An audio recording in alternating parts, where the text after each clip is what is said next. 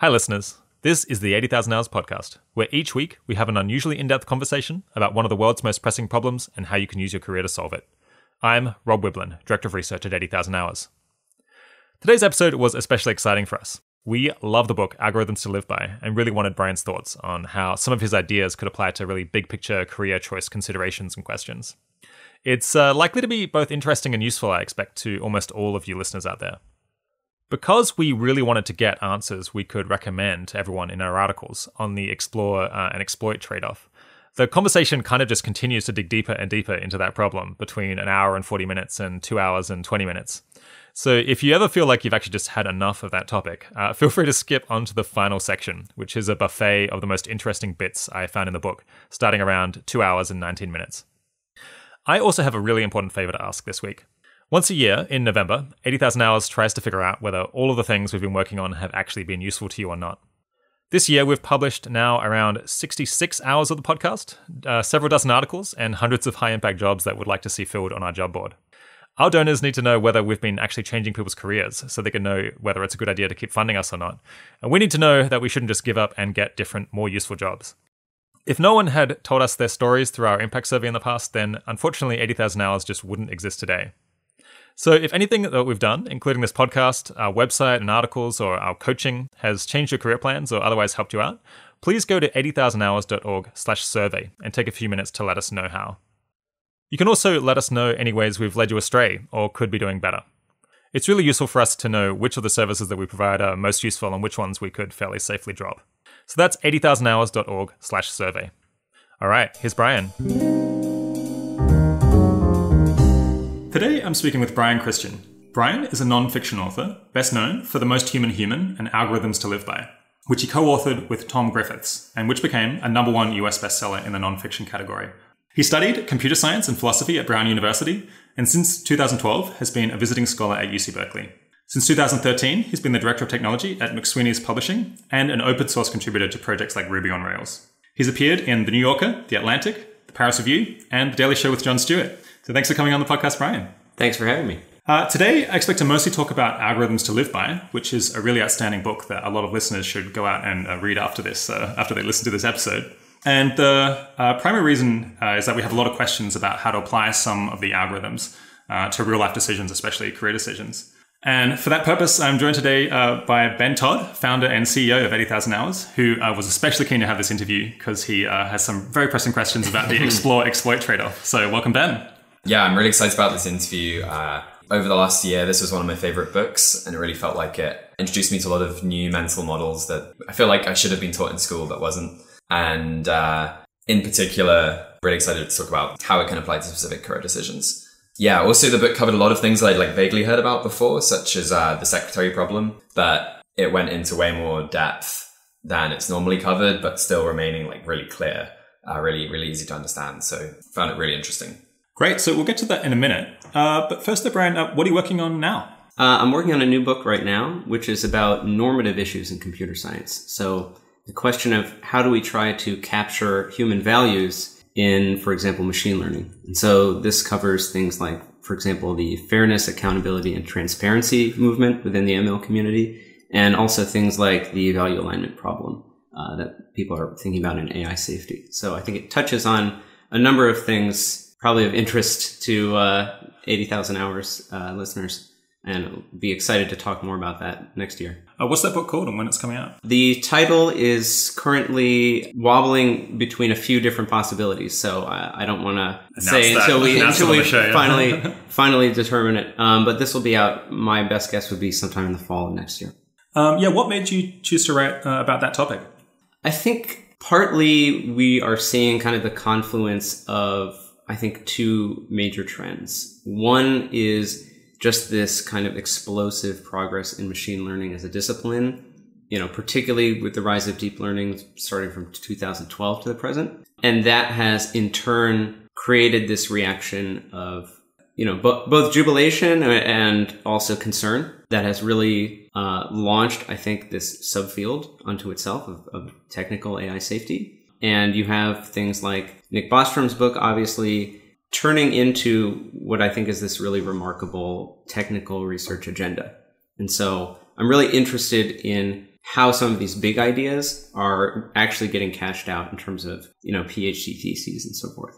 At the same time, you've got this societal uh, adoption of machine learning systems increasingly into kind of morally and ethically relevant domains. Driving being one obvious example, but also things like arraignments and sentencing.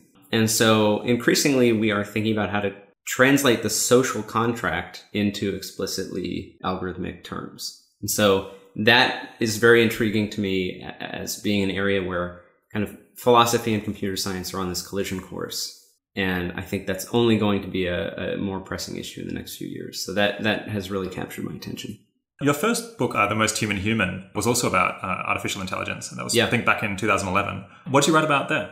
Yeah. Um, so the most human human is about the Turing test, and in particular, my experience as a what's called a human confederate in the uh, Turing test competition. So I was one of these people hidden behind a curtain trying to convince a panel of scientists that I was in fact a human being and not a chatbot claiming to be a human being. And this was kind of a fascinating and bizarre experience for me. And uh, led me on an investigation both into the history of um, the Turing test, uh, the history of chatbot technology, and also into just this broader linguistic question of what should you do if you are in this competitive scenario where your objective is to convince someone else that you are a human being?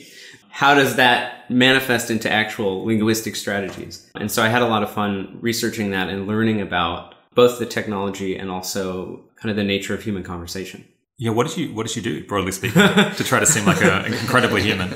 Well, I looked into the way that most chatbots of of the time were were being made, and you know, it's funny. The the book was published in 2011, which was before Siri, so it feels like you know another another time, another age. One of the main strategies that chatbot developers were using, and this is still true in some ways today, is that they would essentially be sampling shards of conversation out of some huge corpus of uh, previous human conversations. So, for example, uh, you could just download, you know, the entire chat transcripts of some message board, and then map some user input to, you know, find find the place match. In that archive that's the nearest match, and then say the next thing that a real person said in that Mm. situation. And systems built this way are at times uncannily impressive. You know, so in the book I detail my interactions with one program called Cleverbot, where I said, you know, what's two plus two? It says four. I say, what's the capital of France? It says Paris. I say, what's the capital of Romania? It says, uh, Budapest? I don't know. Um, which in some ways is even more impressive because the correct answer is Bucharest. And so this is like an example of graceful degradation and kind of like uh, sort of a meta level analysis of its own uncertainty, which is like extremely impressive from a machine learning context. But the problem is that in a real human conversation, you are not only getting locally appropriate answers to each particular question, but you are building a model of the other person. You're building a conversational history that's then going to influence the things that happen later. And so uh, for example, if you interact with these programs and you say, you know, are you married? They would say, yes, I'm happily married. If you say, do you want to go out on a date? They'd say, sure, I'm, I'm free on Friday. They'll sometimes say the word color with the British U, sometimes with the American spelling. And so you, the real tell is not, it, it's not the sense that you aren't interacting with a human. It's that you sense that you aren't interacting with a human. Yeah. Um, it has no memory. Exactly. Yeah, and no long-term coherence. And so so one element of my strategy, for example, was to go out of my way to very self-consciously tie all of my answers together into this broader narrative of who I was. Mm. So if they said, you know, nice weather, huh? Well, the Turing test took place in Britain, so it was actually really bad weather at the time. and I remember saying, yeah, this is pretty crappy, but I'm from Seattle, so that's par for the course. Mm. And later, when we were talking about music, I would reference the grunge scene or something like that. And just like very explicitly flagging, I'm the same guy who answered that other question. So things like that that I could do to kind of increase the long-term complexity of the interaction, I felt like put, put the, put the truth on my side. Uh, you mentioned that it's a kind of a different era in chatbots now. Yeah. Uh, what's what's changed since 2010 or 2011?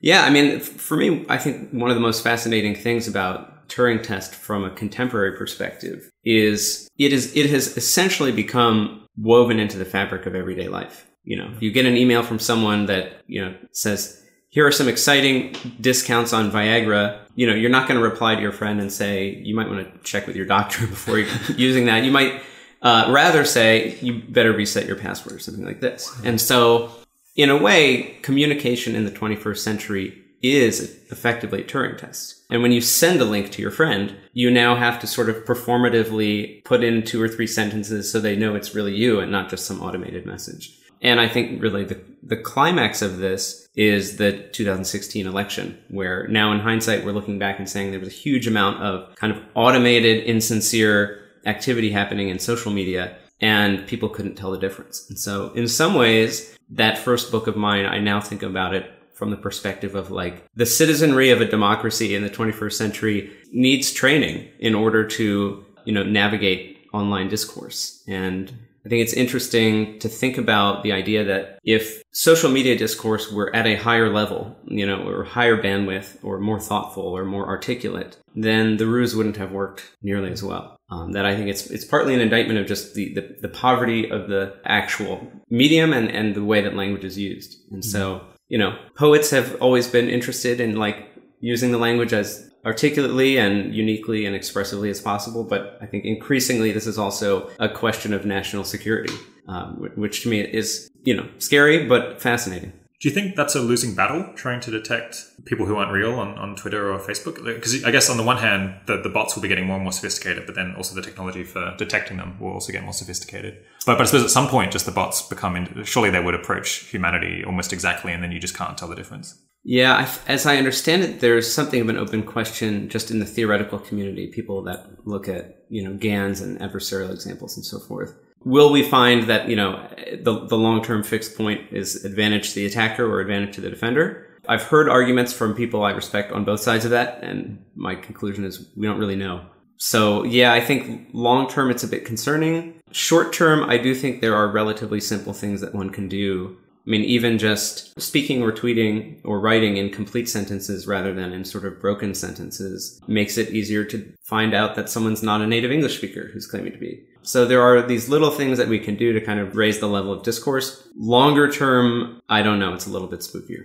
Uh, it seems like uh, Twitter hasn't been trying that hard to get rid of these bots, so they could probably make quite a lot of progress if they just put some effort in and, and actually were willing to, to, to block them. I think they've, they've started doing it now under a lot of uh, under a lot of heat. Yeah, I wouldn't mind. I mean, the way that one has verified accounts for celebrities or something, you know, you could imagine some sort of Turing test required to get some badge on your account or something like this. Yeah, it's interesting. I, I, think there was some discussion of them having verified it, and like you'd have to send in like a scan of your passport to, to get an account, uh, which people hated because that would prevent anonymous like whistleblowing via Twitter and things like that. Right. Uh, but I guess yeah, the Turing test would, uh, uh, or yeah, having a conversation that proves that you're a coherent person would would work as well. Although I guess you could have one person just doing that again and again and again for many accounts. It's tricky. That is true. Although at least at least you would limit them to mm. you know the throughput of one guy working all the time.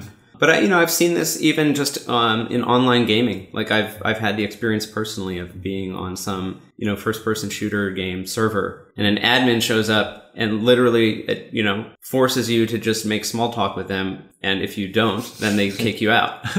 and so you know we are we're starting to enter this uncanny valley where yeah again the Turing test. I think I think what would shock Alan Turing perhaps the most if he were in the 21st century is that this had become a sort of banal nuisance you know, it's it's no longer a thought experiment. It is just this annoying thing that we have yeah. to do time and time again in the course of a day. Uh, so hopefully we get to talk about uh, machine learning again next year when your next book comes out. Um, let's talk about algorithms to live by for now. What is that book about in broad strokes? The basic idea is there's a set of problems that all of us face in everyday life, whether it's finding a place to live, or deciding whether to commit to a partner or deciding where to go out for dinner or how to rearrange your messy office or how to schedule your time. And, you know, the, these often emerge as the function of uh, limited time, limited information. And we tend to think of them as kind of uniquely and innately human problems. And the message of the book is simply they're not. In fact, they correspond really precisely in some cases to some of the fundamental problems of computer science. And so I think this gives us an opportunity, having made that identification of the sort of underlying computational structure of, of human life,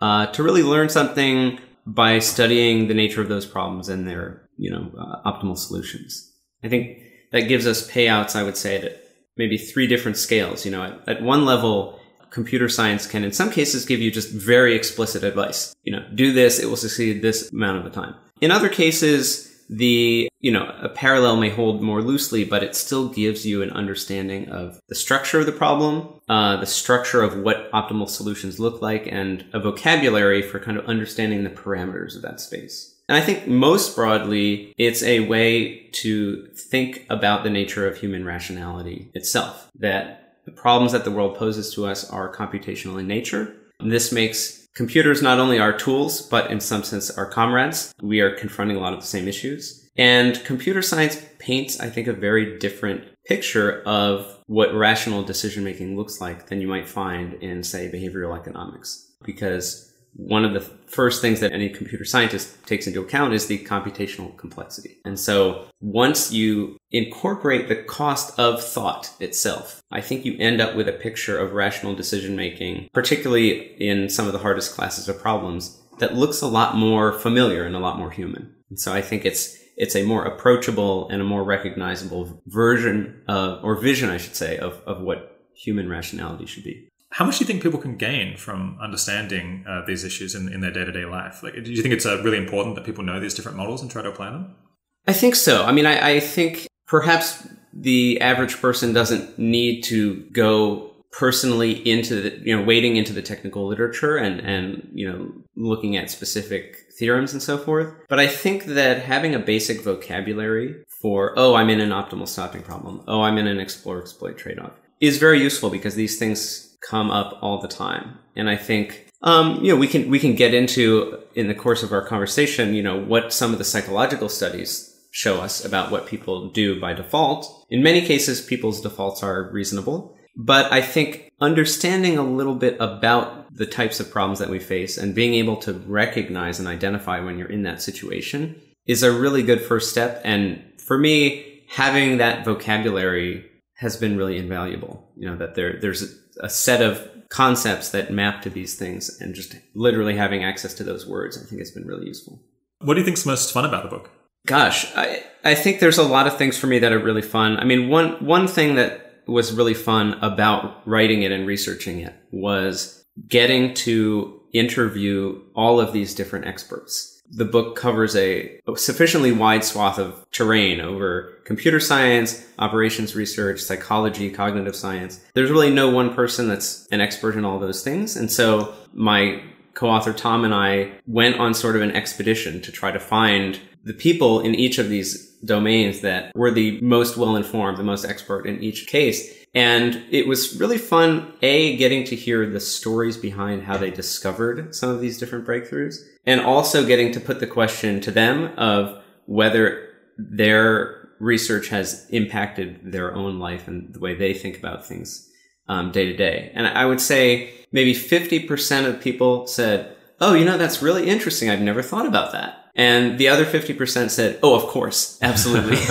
no question. And so, yeah, it was, it was really satisfying just getting to hear those stories. One interesting thing is a lot of the original contributors are still alive because a lot of this was That's discovered right. quite recently. That's right. Yeah, no, it's it's pretty incredible. I mean, I, I, guess the original generation of founders of computer science, you know, von Neumann and Turing, um, none of them are still around. But I would say the generation after that, a lot of those guys are still alive, and it's really incredible. You know, so we interviewed uh, Tony Hoare, who is the inventor or discoverer of Quicksort. And, you know, we asked him, how did you come up with Quicksort? You know, this, this incredible algorithm.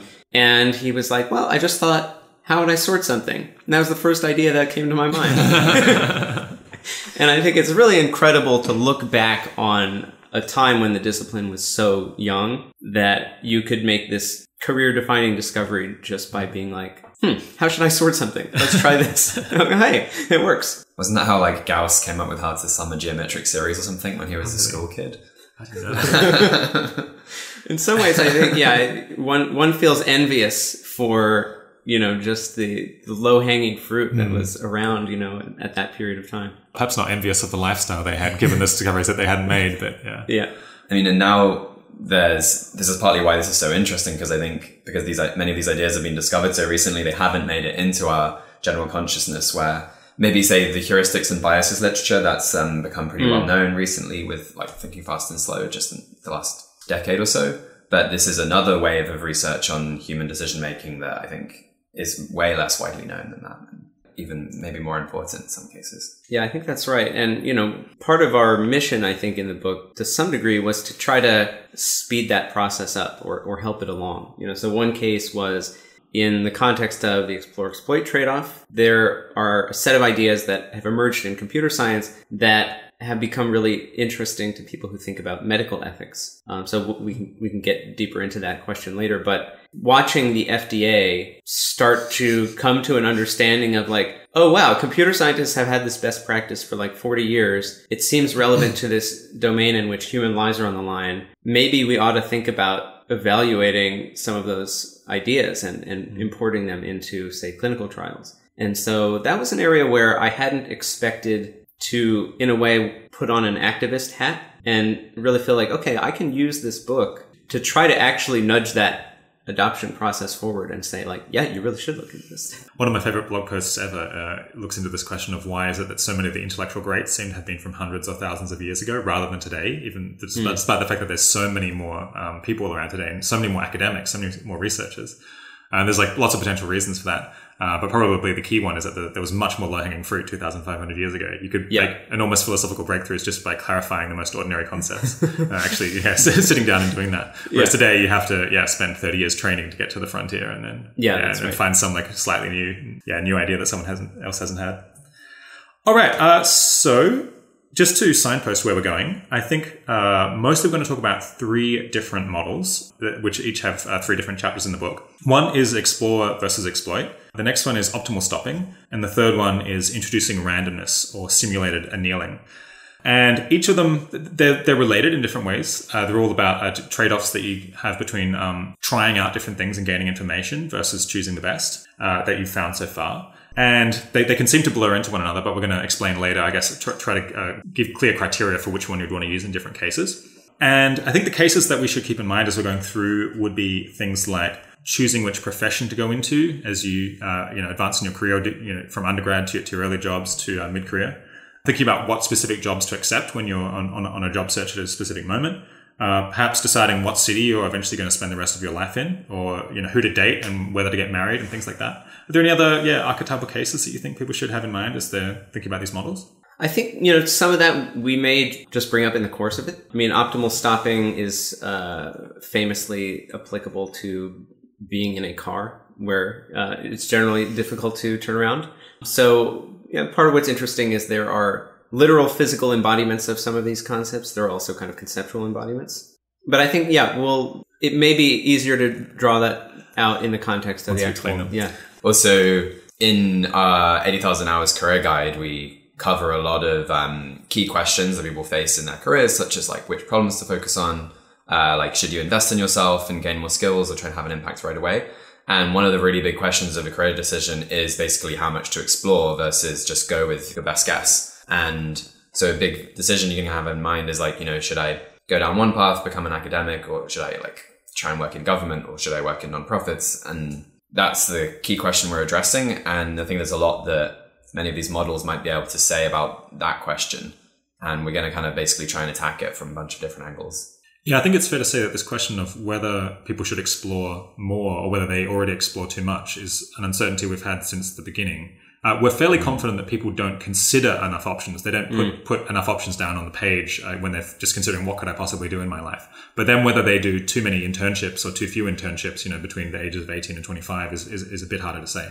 And like, if you're working on a job and it's like doesn't work out, how quickly should you switch versus like pushing on? Yeah, should you like try several jobs or just find the thing you think is best and go pretty hard into that? All right, explore, exploit. Um, what's the what's the classic explore, exploit dilemma? So, so Yeah. set, set the scene here, uh, Brian. Right, right. So, well, uh, first uh, I'll make a linguistic note, which is in the explore exploit trade off. Um, this is the, the tension between uh, spending your time and energy, you know, trying new things, gathering information, versus spending your time and energy leveraging the information that you already have to get, uh, you know, a pretty safe, good outcome.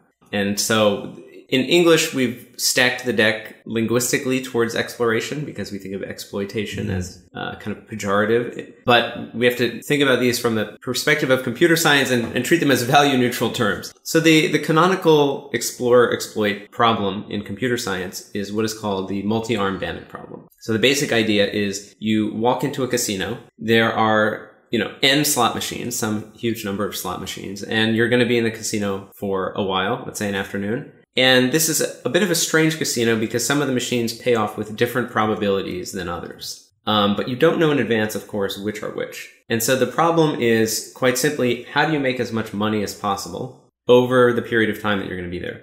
So intuitively, we might imagine there's some combination of exploring, that is, trying different machines out, seeing which ones appear to be giving you higher payoffs on average than others, and exploiting, which is, you know, biasing yourself towards, of course, cranking the handle of the machines that do in fact seem the most promising. But exactly what that balance should be and exactly what our strategy ought to be in that situation has this wonderful and colorful history in the field where for most of the 20th century it was considered an unsolvable problem uh, and you know career suicide and in fact the allied the British mathematicians during World War II joked about dropping the multi-arm bandit problem over Germany as the ultimate instrument of intellectual sabotage, to just waste the brain power of the Germans. So, uh, yeah, when was this question first specified? It's a good question. I think William Thompson was uh, looking at a version of the multi-arm bandit problem in the 1930s.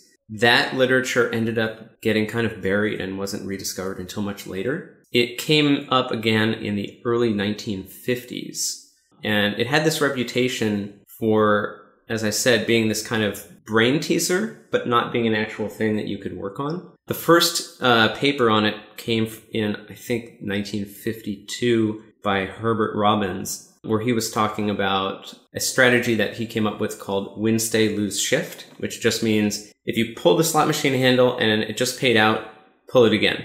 If it didn't, try something else. And he was able to prove that that strategy is better than pulling all of the handles at random, uh, which is like such a modest result. um, you know, here's an algorithm that's better than chance. That that was as much as could be said at the time. But in some ways, that was kind of that first handhold on the problem of maybe we can actually start getting somewhere on this. Uh, and if I remember correctly, it was then um, Bellman who Yep. came up with a theoretically uh, correct answer to this question, but it was not really computable. It was just too difficult to ever actually figure out what, what it was, even if you had the formula. That's right. So Bellman in 1957 uh, comes up with his famous idea of dynamic programming, which involves kind of working backwards from the end and saving or memoizing different solutions of these possible endings and then using them to work your way backwards towards where you are now, which is quite ingenious and, uh, you know, is this incredibly important technique even today. But in the context of the multi-arm bandit problem, it relies on a few assumptions that make it not really ideal in practice. So it does require a lot of computing. Um, it requires that you know in advance exactly how many machines there are, how many times you are going to pull uh, the handle total, things that may not be realistic or may not be useful in like a practical real world situation. And so there, it's a funny history because in some sense you get the definitive solution to the problem in 1957. On the other hand, it leaves open, you know, it's sort of unsatisfying for all these different reasons. So we got the, the first really practical solution uh, from Gittins, I think in the 70s or 80s. Is That's that right? right. Yeah. Do you want to describe, yeah, his, his approach? Yeah. So there's this lovely story. I mean, I think one of the things that I just love about the history of mathematics in general is sometimes people think they're solving a very specific problem and what they come up with has this level of generality that they don't even anticipate. So John Gittins in the 1970s, he's now a math professor at Oxford. Um, at the time, he was doing some consulting for the Unilever Corporation and they wanted to know basically how to allocate their money across different projects. So you have, you know, pure research and development of, of new drugs. You also have marketing of profitable drugs. How much of our budget should we spend on one? How much on the other? And Gittins immediately recognizes this as being kind of like a multi-arm bandit problem, where you have these different levers you can pull. You don't know in advance how well they'll pay out. And there's a particular twist here, which I think is quite fascinating. So Gittins is thinking about this from the perspective of the Unilever Corporation, which wants to exist theoretically forever.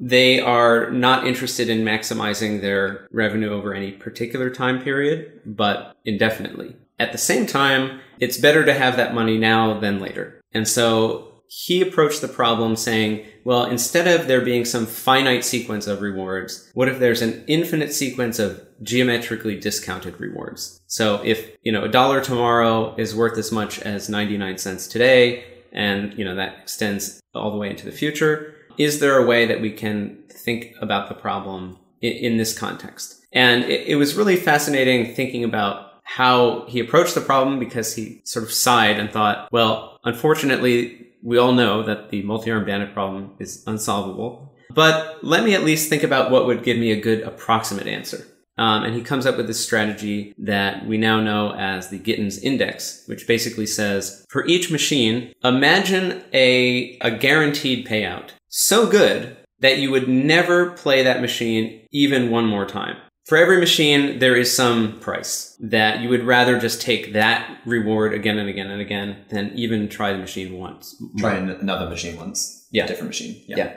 And he called this the dynamic allocation index. We now know it as the Gittins index. And his thought was, well, you could just calculate that independently for each machine. It wouldn't depend on which other machines existed. And, you know, you could just play the machine with the highest Gittins index. And he thought, well, this would, this might be a reasonable approximation to the problem. And then to his own surprise, this is the solution to the problem. And so I, I think that's this wonderful story again of just these mathematicians following their instincts and saying kind of humbly, well, here's an idea, let's try it. And it turned out to be the answer. And so this is another case where the Gittins index is the kind of gold standard for dealing with a multi-arm bandit problem with infinite discounted rewards, geometrically discounted rewards. And yet there are still reasons that we may not want to use it in practice. So for one, it relies, like I said, on geometric discounting, which there are a number of studies that suggest humans don't do, although perhaps they should. So if you're doing hyperbolic discounting, then you're in a different paradigm. Um, it deals with this idea of infinite rewards, which may or may not be applicable to a particular situation. And lastly, it's just non-trivial to compute the Gittins index for every given machine. And it's hard to do it in real time. Yeah, so there's an awesome table in your book. But Yeah. as you point out, if you're like at a restaurant and you get that out and try to say, well, we've had seven good meals here so far and two bad ones. Now, should we switch to another restaurant next time? Right, Uh, exactly. Your fr- friends have probably stopped listening long before that point. Yeah, indeed. Yeah. So, you know, we, we encourage you to cut out this table and, you know, carry it in, in your wallet. Um, but of course, you and your friends also have to agree on the discounting function that you're using. Yeah. So maybe yeah, what's what are some more um, more rules of thumb solutions to the multi-arm bandit problem that someone might be able to kind of bear in mind in a Sure. real situation? I think there are a few kind of big picture ideas here. So one of the key ideas as I see it is if you're dealing with the finite horizon case, then one of the things you see by looking at the exact solutions that dynamic programming offers you is that you should basically front load your exploration and do the bulk of your exploitation at the end. And this makes sense, I think, for three different reasons. The first is that the odds that a new machine that you try is better than the best one you already know about can only go down um, as you get more information. An analogy that I like to use is if you have taken a, a work transfer to Spain and you're going to be there for a year, the first restaurant you go out to the very first night you're in Spain is guaranteed to be the best restaurant you've ever been to in Spain. The second restaurant you try has a 50% chance of being the best restaurant that you've ever been to in Spain. Um, and this, of course, goes down um, as a function of your experience. And so the chance that trying a new thing will yield something better than what you already know about can only go down. And what's more, the value of making that discovery can also only go down over time. So if you find an incredible restaurant your last week in Spain, that's strictly worse than finding that restaurant on your first week in Spain. And so both the chance of making a discovery and the value of making that discovery uh, can only go down over time. On the other hand, the value of just doing your favorite thing or going with the best option can only increase over time, again, as a function of your experience. So for all of those reasons, it makes sense to think about ourselves as kind of on this trajectory from exploration to exploitation as a function of kind of where we perceive ourselves to be within this finite horizon. And what I think is really interesting about that idea is that it offers us a way of thinking about kind of the human lifespan you know, at, at, at, its broadest level. And we're seeing, for example, cognitive scientists and psychologists like, for example, Alison Gopnik at UC Berkeley, drawing on the technical literature of the explore exploit trade-off to make this argument about infant cognition. It's saying, you know, there's this huge body of evidence that suggests that infants are highly random. They have this huge novelty bias. They always want to look at an unfamiliar object. Uh, no matter how carefully you've chosen their Christmas gift, they're just relentlessly interested in the next thing and the next thing and the next thing.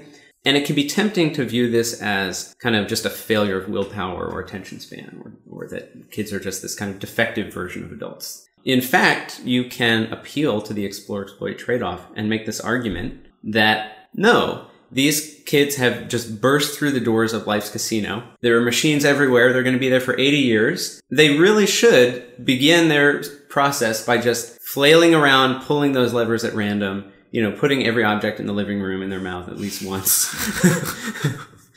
um, and so we can, we can think about, you know, the, the stigma of child cognition as actually being the optimal strategy given where they are in that finite horizon.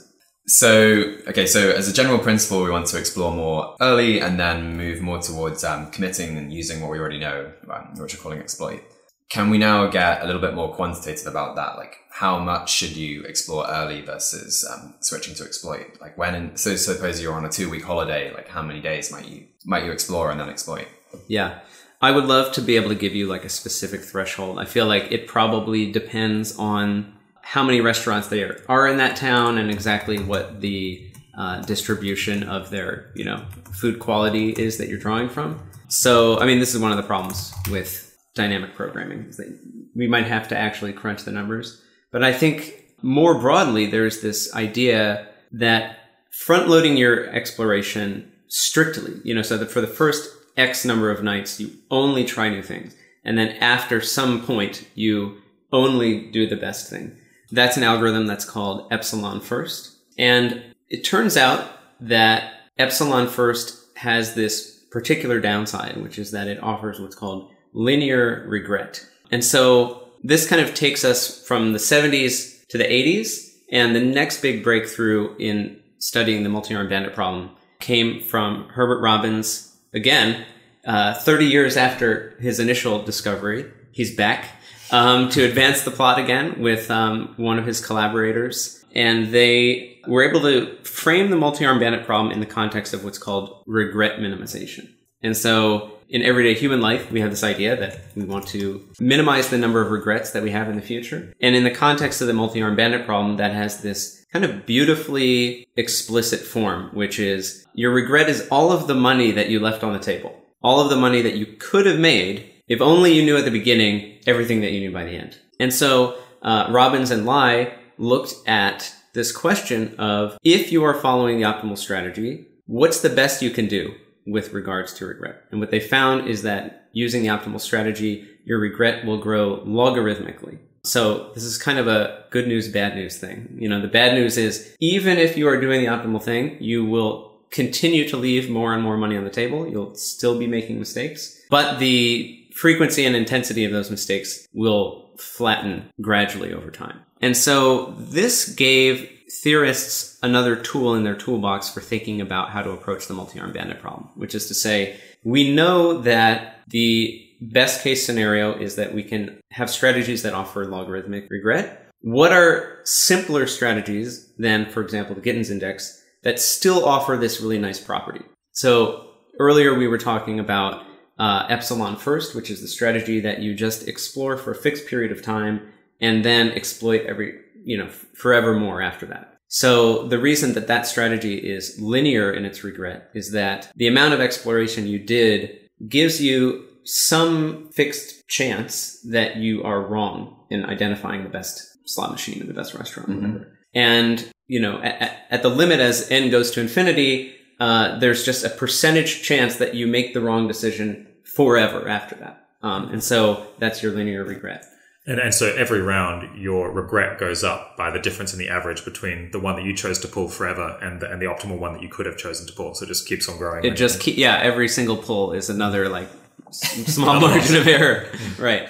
And so there's been a lot of really exciting work starting in the mid 80s and continuing through the 21st century of trying to identify simple intuitive strategies that offer this guarantee of logarithmic regret. And yeah, what uh, what's what's the, yeah, the answer so what are they? so what, yeah, what are they? Um, one of them is what's called epsilon decreasing. So if you have a certain fixed chance that you are going to try something random and explore, but that you slowly decrease that percentage according to some kind of schedule, then you can prove that this strategy uh, achieves logarithmic regret. The way the strategy would work is like, um, suppose you have a process which is like 80% of the time I'm going to pull the thing that I think, the pull the lever that I think is best right now. And 20% of the time, which is the epsilon, you're going to just pull a random lever. Yeah, And then you slowly decrease that percentage uh, as you go on. Yeah, that's right. So let's say there may be specific technical results about your cooling schedule. In order to achieve that result, we can direct interested readers into the technical literature on that. But the basic intuition is, yeah, if every day, you know, you, you start with some fixed chance of, let's say, 20% that you're going to try something random. But every day that fixed chance goes down, let's say it's multiplied by 0.99 or something mm-hmm. every single day, then this is the kind of strategy that avoids the pitfalls of epsilon first because there's always some chance. Now, granted, it'll, it will dwindle, of course, in the long run, but there's always some chance that if you've made a mistake at identifying which is the best machine, you're still leaving the door open a crack to getting new information that could change that. But of course, you are sort of tapering that down in some ways appropriately as you gather more and more information, which makes it less and less likely that you have made a mistake. So uh, how does that compare with upper confidence bound algorithms, which you spend a fair bit of time on in this chapter? So one of the other strategies that's very simple and intuitive, but also offers this property of logarithmic regret is what's called upper confidence bound. And the basic idea here is that you compute a, what's called a one-sided confidence interval for each of these machines. So for people with a statistics background, you're used to seeing you know the the error bars above and below a quantity you know on a bar chart and so what is interesting about upper confidence bound is it says we're not actually interested in the expected value of the machine and we're not interested in the lower bound we're only interested in the upper bound of how good it could be and so you just always play the machine with the highest upper bound and this is an idea which i think elegantly synthesizes exploration and exploitation because something that you have less information about is going to naturally have wider bounds. And as you learn more and more about it, those bounds are going to tighten. And so I think it's a really sort of beautiful way of synthesizing both the idea that we want to optimize for quality, but we also want to optimize for information and bringing that together into a single idea. And I think it's also, there's just something kind of poetic about the idea that it's, it's essentially the, the rational case for optimism, that you are only interested in the reasonable best case scenario. In some ways, you, you almost don't even care about what you expect will happen. And I, th- I think there's, there's a principle there which I just find kind of encouraging. like it's, it's one of these results that you, you feel sort of happy knowing that that's the case. And wait, so yeah, if we if we zoom out a little bit, you can imagine you're about to pull one of the levers, and your best guess is that every time you pull the lever, you get um, ten dollars, say. Um, so that's the expected value of the lever. But then you're saying now you want to think about, say, what's my upper ten percent confidence interval? So I think maybe there's a ten percent chance that I actually will get fifteen dollars from this from this lever if it turns out to be better than my best guess. And then you want to do that for all the levers and go for the one where you think there's your your kind of ten percent level is actually highest rather than what your best guess where your best guess is highest. Yeah, that's right. And I mean, again, I guess there's a technical literature on whether you should be kind of using like ten percent confidence interval or fifth fifth percent or Yeah, it, the the paper where they kind of make the proof that this is regret minimizing uses what's called the Chernoff-Hoeffding bound. So I can give you the exact the exact prescription, which is you want to play the machine that maximizes your expected value plus the square root of two times the natural log of the total number of handles that have been pulled divided by the number of times you've pulled that handle. so the number of handles, the number of handles. I see why you did not put that in the uh, core of the book. yeah, some of this stuff ends up buried in the end notes for a reason, but This is the number of handles you've pulled in the past so far. yes. Yeah, so it's the square root of a fraction, the top of the fraction is two times the natural log of the total number of pulls in the casino divided by the number of pulls of that specific machine. Um, and it's, that's not the number of arms; it's the number of past pulls that you've done so far. That's right. okay. Yeah. And so generally, that means that the confidence interval is you're using a narrower one over time. Yeah. Yeah, Yeah. And so that's which is go again down. the same heuristic we just covered. Yeah, exactly.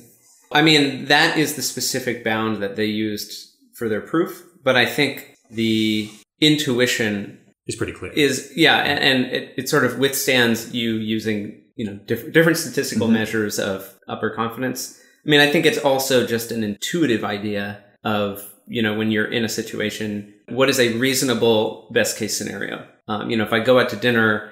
The reasonable best case scenario is not that like my dinner companion gives me a million dollars, but it might be that they give me an idea for a book that I then go into. You know, so I think some of these things cash out into more in, intuitive notions of, of what the upper confidence interval would be.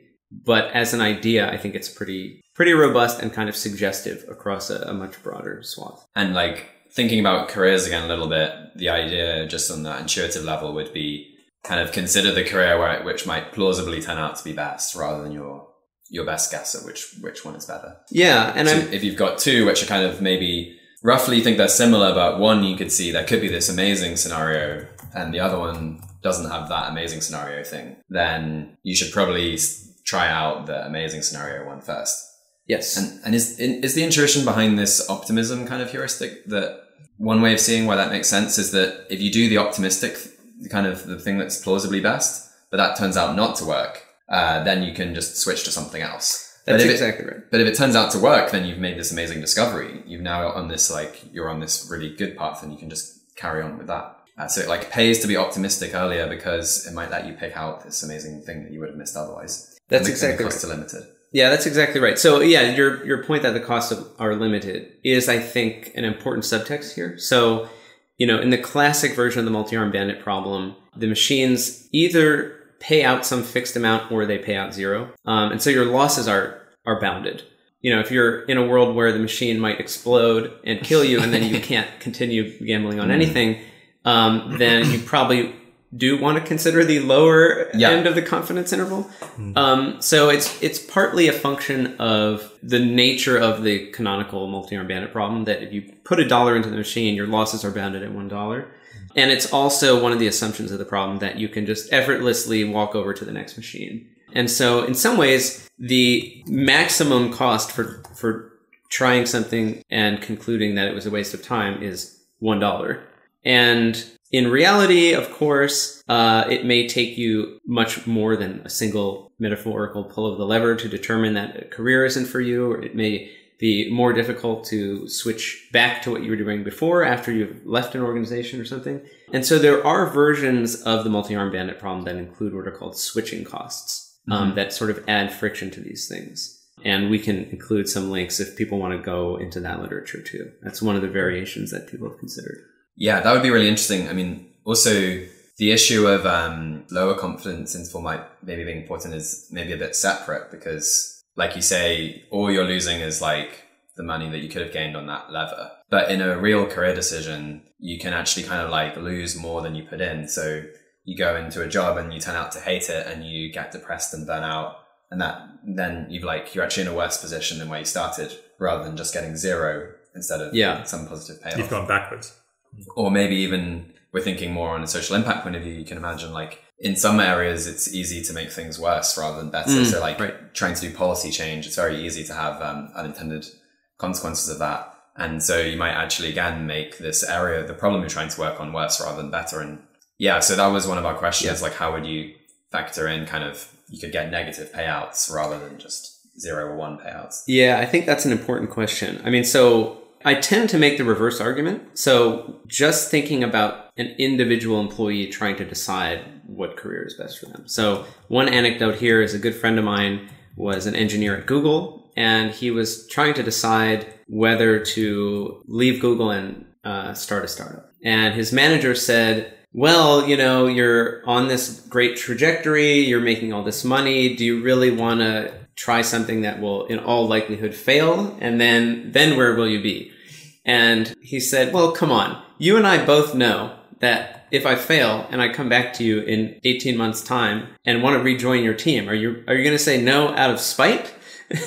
and the manager was forced to admit that no, in fact, he would gladly take him back at his, you know, um, you know, existing salary, if not more, and so forth. And so I think that's an example where people can get a little bit spooked and perhaps over uh, overrate the downside. Um, so stepping away from a job for a year, crashing and burning in the startup game, and then getting right back in where you left off. I think that's really an argument for being willing to, to take that risk. And in fact, I, I counseled my friend literally with the explore exploit, you know, literature and said, you know, I, I think you should really pull that, pull that new lever. And so I think from, from an employee's perspective, it makes sense to be fairly optimistic. I think most people, in my experience, if anything, are not optimistic enough. I think from an organizational perspective, especially if you're doing some kind of major intervention um, that could have some huge unintended consequence, you know, you go into some country and you give everyone free wheat, but then you destroy the local wheat economy or something like this. That's certainly a case where you're you're in something that probably doesn't really resemble the multi-armed bandit problem at that point.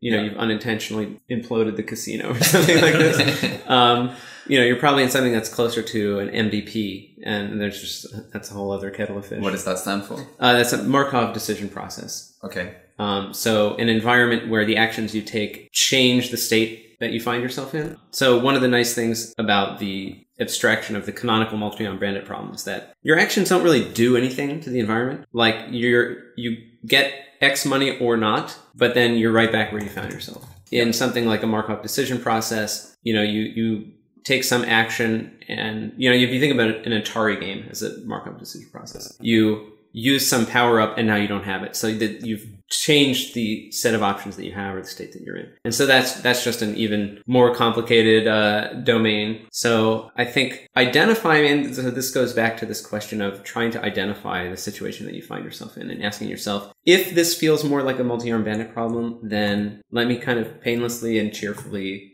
explore a bit because you know the downside is capped. Yeah, I mean, I, I totally agree. When you're thinking about normal career decisions, people maybe don't appreciate that the downside is relatively capped and it's uh, okay to explore more than people often do. But yeah, I think it's when you start to think about some more of these um, social impact issues, you could imagine like often, often dealing with these cases where there could be like either really good upsides or significant downsides if you're like, yeah, yeah. pushing through a major, a major like policy change or something like that. And yeah. it's more like a multi-arm where it could the machine could actually like force you to pay. right. Like you pull it and then it's like nine minus ten. Now you like owe the machine yeah, money, exactly. or it could be like plus twenty or something. Yeah. Now, I mean, the other thing that I think is worth kind of unpacking here is that the other assumption in the multi-arm bandit problem is that you get the feedback immediately. Um, it's not like you pull the handle ten years later, a check comes in the mail. Yeah. It's for ten cents or whatever. And so this is something that may or may not be true in a lot of situations, right? So one of the reasons that tech companies really like uh, multi-arm bandit algorithms is for something like ad optimization, you show an ad, the user clicks on it or not, and you've gotten that feedback immediately. So you really can model that as a multi-arm bandit problem. The feedback is instantaneous, um, and so you can really adapt and uh, and adjust your ad probabilities in basically in real time. So as some of these ideas I mentioned earlier are making their way into the medical literature, uh, in something like a clinical trial, the first clinical trial to use what's called an adaptive method, which is basically you're changing the percentage of people that are receiving the experimental drug versus the conventional drug in real time, um, rather than waiting until the end of the trial. The first case uh, in the medical literature that used this was for something called ECMO. So this is back in the 1980s. Infants that were going into pulmonary arrest and their their lungs were stopping. Uh, the conventional treatment was really bad. It only worked, I think, something like 60% of the time. And so someone got this idea we want to try this new crazy experimental technique called ECMO. We think it could work considerably better. It could also be a total disaster. It has a risk of embolism and all these things. One of the reasons that just from a formal perspective, it made sense to use some of these multi-arm bandit algorithms was that if someone goes into pulmonary arrest, you either save their life within five minutes or they die within five minutes. And so, you know, obviously that's a, it's a tragic scenario to have to deal with, but in some sense, there's this mathematical silver lining, which is that it makes it much easier to rapidly identify whether some new technique is better or worse than the status quo. You don't have to administer it and then track these people longitudinally over the rest of their lives. And so this is another one of these parameters where you can sort of identify Am I getting immediate feedback? If so, then this is more like a multi-arm bandit problem. If I'm not, then I may want to adjust my strategy and, and not Mm. rely so heavily on that framework. Okay, so we've covered a couple of different complications. One is that you might sometimes have negative payouts. Now we've just covered you are getting some kind of imperfect information, imperfect feedback. Uh, it might take several years to like really figure out how a certain path unfolded. And you also mentioned just earlier, you've got switching costs. Right. Where in practice, in real life, you can't just switch between the arms. You have to like do a whole job application process, which takes you months. Right. And I mean, yeah, do you have any intuitions about how these might affect which strategies are best? I mean, hmm. my guess is it's going to generally mean you should do a bit less exploration because the costs of exploring are higher. You're getting less information and you're less able to use the information because you have to switch. Yeah, that's exactly right. So yeah, the the intuitive answer is that's exactly right. So the higher the switching cost, the, the more reluctant you should be to abandon an option, even if it seems like it's not working. Or the more reluctant you should be to, to try something frivolously because you're going to pay that switching cost twice. Once mm-hmm. once to go in and another time to get out. Another thing, you know, an, another assumption that is kind of underneath this whole conversation is that the quality of the options that we're evaluating is static the restaurant doesn't fire their chef and get a new guy who's not as good, or the company doesn't kind of lose its way or change their management or, or whatever. And so when the probabilities, the payout probabilities of these different machines can change, then you find yourself in what's called the restless bandit problem, um, which is NP complete and, you know, there's no effective solution that's going to get you there all the time.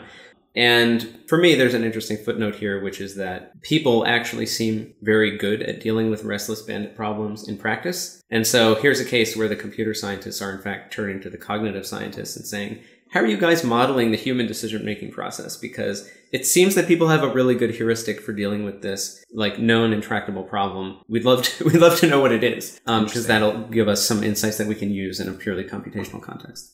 So if I remember from the book, when you give people multi-arm bandit problems in a lab, they actually explore too much. Yes. which I found very surprising because normally it seems the general theme in this kind of literature is like people don't really explore enough. They like stick with the status quo. They have sunk cost fallacy. But actually here they should have just carried on pulling the best guess ever, but then they kept switching. I've got major objections to that experiment.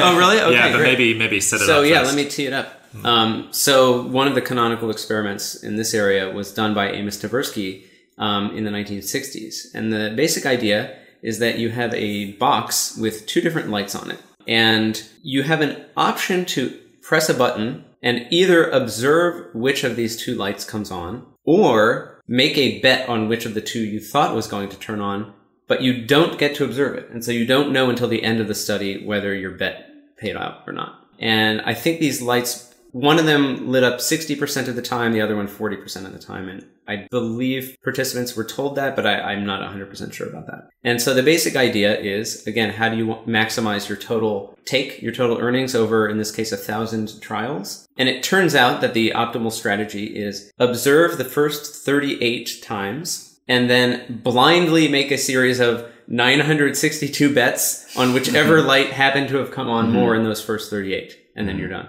Is that what human subjects did? No, not even close. Um, people would observe for a while, bet for a while, observe a little bit more again, and bet a little bit more again. And I, I want to say, on average, people observed 500 times 505, yeah. 505 out of a thousand. Yeah. Yeah. Um, and so this is a case. I mean, my my read on this is that the participants were told that these probabilities were fixed, but for me to be a bit more sympathetic or charitable towards the subjects, you know, they knew they were in a psychology experiment. There's a long storied history of being lied to uh, by experimenters in psychology studies. And so they didn't necessarily want to take the experimenter's word for it. And so they were effectively acting as if they were in a restless bandit problem, where let's say the payoff probabilities are on a random walk. They can go up and down. That's what I was just thinking. Maybe people explore more because they think the probabilities might be changing. Yeah, so I mean that's that's one way to model the data that they saw was people were establishing a certain level of confidence that enabled them to switch into this betting mode. But as time went by, you know, their uncertainty started to grow. And once it hit a certain threshold, they gathered a bit more information. And it makes sense because real life is a restless bandit problem rather than a multi-armed bandit problem, probably because, especially in careers, like the landscape is always changing. So maybe our intuitions have evolved more to deal with that one rather than the more like kind of artificial where everything's stable situation. Yeah. So this experiment is terrible. so that's one of the issues I think that oh yeah they said it's stable, but um, they might not like even if they believe them, uh, all of their intuitions about how much to explore and how much to exploit um, are based on life where things are changing all the time. So it's impossible mm. for it to get through to their intuitions. Like even if yeah. on like an explicit level they kind of believe it, but that does explain why they alternate between like uh, exploring and exploiting rather than just like do all explore and then all exploit.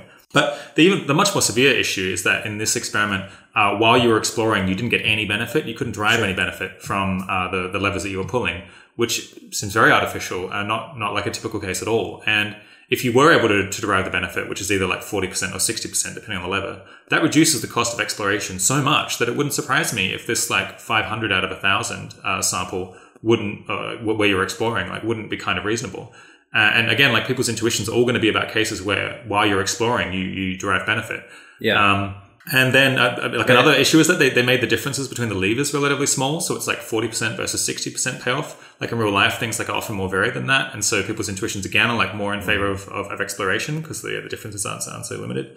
Right. I mean, oh, you know, and, imagine, an, another yeah. objection is that keep going, keep going. Uh, is that uh, people maybe just enjoyed the novelty of like trying the levers and exploring uh, rather than just like pulling it and not seeing any response at all. Because in the exploit phase, you don't find out uh, whether you're benefiting. And when, whenever does that happen? When you yeah, that's also so artificial. You're so you're exploiting and you don't even find out whether you're winning. That's like very weird. Yes. So I think this whole thing was the deck was completely stacked to produce this like surprising result. Uh, but I don't know that we can learn anything about the real world from uh, this this difference between the theoretical optimal and what people did.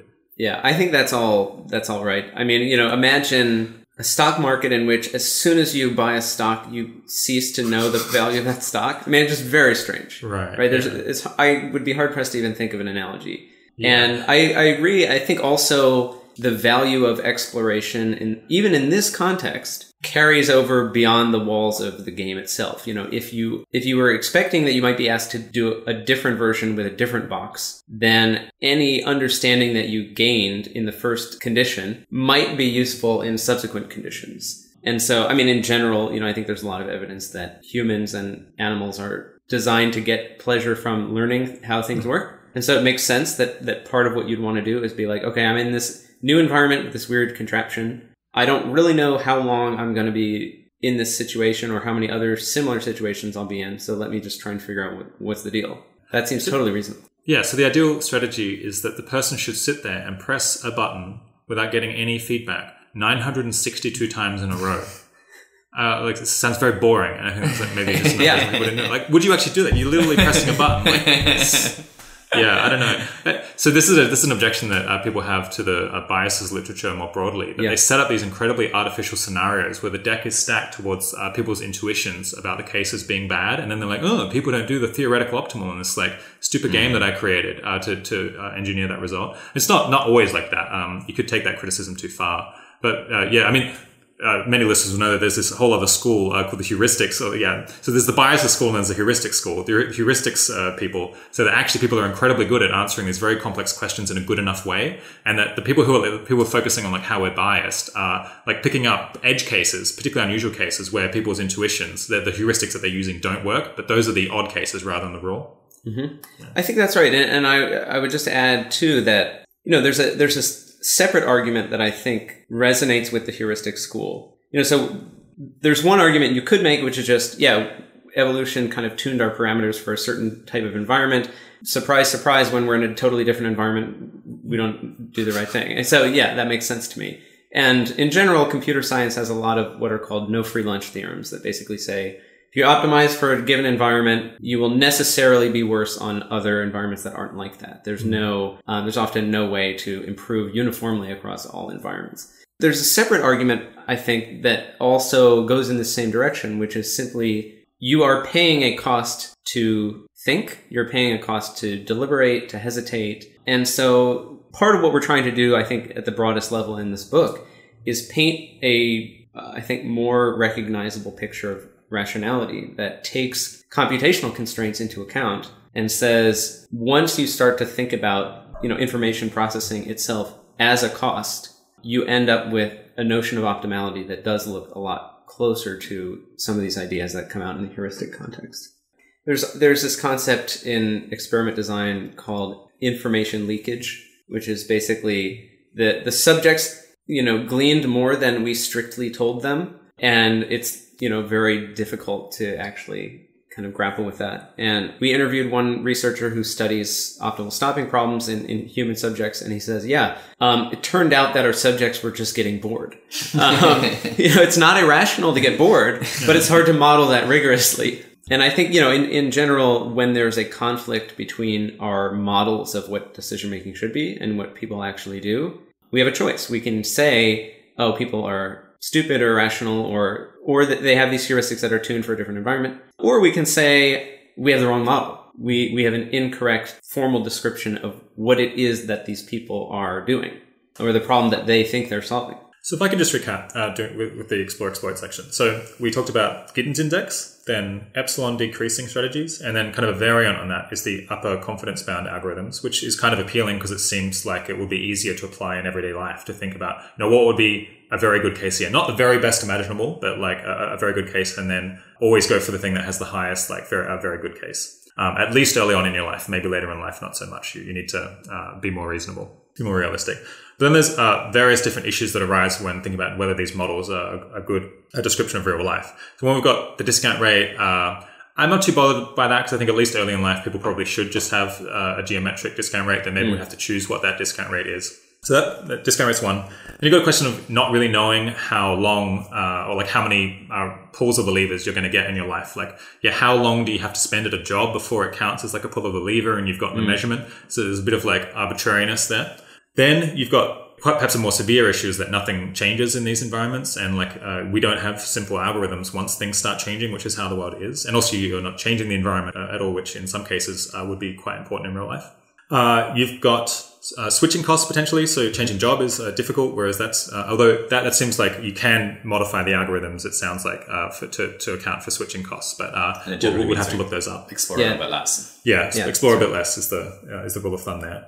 Then you've got it seems like some of these describe cases where you pull a lever and you either get one or zero, or I guess like one or minus one because you have to pay or something to, to pull the lever. Yeah, this is um, called the Bernoulli bandit, by the way, if people are interested. Yeah, yeah. you either get zero or one. Yeah. But in real life, we talked about how there's downsides, not only upside. But that doesn't seem like it's so severe because you just shift the distribution.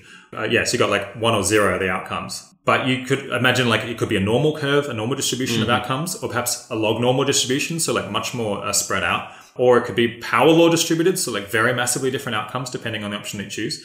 And all of those mean that there's more variance in outcomes, so you have to explore more, and also that there's like more risk of um, choosing one early that um, misses the top tail, misses the one that in fact has the highest expected value, but you uh, didn't realize that because you didn't sample enough to, to pick up the, the, the upper best tail, or potentially the, the, the lower terrible case tail. Um, right. So, um, and then another one uh, is that uh, all of these um, are kind of a, a modeling you as coming in with no information. So perhaps you just have a uniform prior belief about um, the possible different outcomes that the have. Whereas in real life, kind of almost everyone listening to this is going to be at least 16 and they have kind of a model of the world uh, of yeah what are the probable like yeah what's the plausible distribution of outcomes of different actions that they can take. No, but you're factoring that in, like say with yeah. the upper confidence interval one, you're using everything you know at that point to make your best guess at what the upper confidence interval is. Yeah, I agree. In principle, it's incorporated here, but uh, we haven't really talked about what things would look like if you're like 700 through an 8000 uh, draw. Uh, we, we, like most of the tables describe, oh, like after three pulls, mm. um, uh, like where you've got, say, two wins and one loss. Whereas in real life, it, it seems like we have like much thicker information than that. We're very rarely coming in blind. And so it might be better to model it as like a Bayesian issue where you have like a prior and new update based on each, each pull which I think may well end up like resembling the solutions I've gotten here anyway. Yeah, I mean, of course, yeah. In real life, you're you're making judgments not only about the machine you're pulling, but also about the nature of the game itself that you're playing. So if if slot machine A pays out much less well than you thought it would, you might start to extrapolate and be like, oh, maybe slot machines just aren't as good of an investment as I thought they were. and you see this in people who are very sur- superstitious about gambling, where they they're sort of promiscuous in in what they attach their success and failure to. They get uh, some payout, and then they update their priors on the value of wearing their lucky baseball cap, but also the value of it being 12:04 p.m. with the sun at this angle and being at this particular machine. And so, yeah, I think all of these things, needless to say, point towards the enormous complexity of what real world decision making actually looks like in most cases. Just with the the restless bandit problem, which is where the payoffs are changing at the different arms. So could I just recap that you were saying that actually people are almost uh, better at doing that than this, the, the simple algorithms we've developed, or Yeah, the I mean the restless bandit problem is what's called intractable, which means that there is no efficient solution to the problem. Efficient has a technical definition, which we can get mm-hmm. into if you want, but people seem in a way untroubled by the daunting formal complexity of the problem and they just do stuff. And the stuff they do seems to work. And this I think has created, you know, a certain amount of interest in the computer science community of trying to figure out how can we characterize you know a computational model of what people are actually doing? And is there a rigorous way to analyze just how good uh, their instincts actually are? And can that lead us to ideally some sort of algorithmic breakthroughs that we can then use in, in practice? But are, are there any rules of thumb about ways we could modify some of the things, the algorithms we've seen earlier, that would still get you like a better than random payoff when doing restless bandit problems? I mean, it sounds like one thing again is like you should be a little bit more keen to explore. That's certainly true. So the more if you if you think about this at the in the limit of a completely random environment, then you might as well just pull the handles at random if the payouts are just jumping Yeah, all over the place. And so yeah, in, in general it is true that the more volatile the environment is, the more restless you should be yourself and not not settling for something and not kind of continuing to act on stale information. So it makes sense. I th- I mean I, I I might have to check the literature on this, but I would imagine that the win stay lose shift principle is still reasonably better than chance even in the restless condition because if something paid out you you know it's a reasonable assumption that you know you should pull it at least one more time. Um, so there there are i think very basic heuristics that hold but in general it is true that the the more restless the environment the more restless you should be too You're going to end up basically discounting old information. Old pools get weighted less in measuring like the fraction that it succeeded, so you get some kind of moving average. But yeah, for, I guess for some reason that ends up like being computationally intractable. Uh, Yeah, and I mean, you can also consider like, do you know going in how restless the environment is, or are you building your model of the noise in the environment based on your experience, which is obviously even more complicated.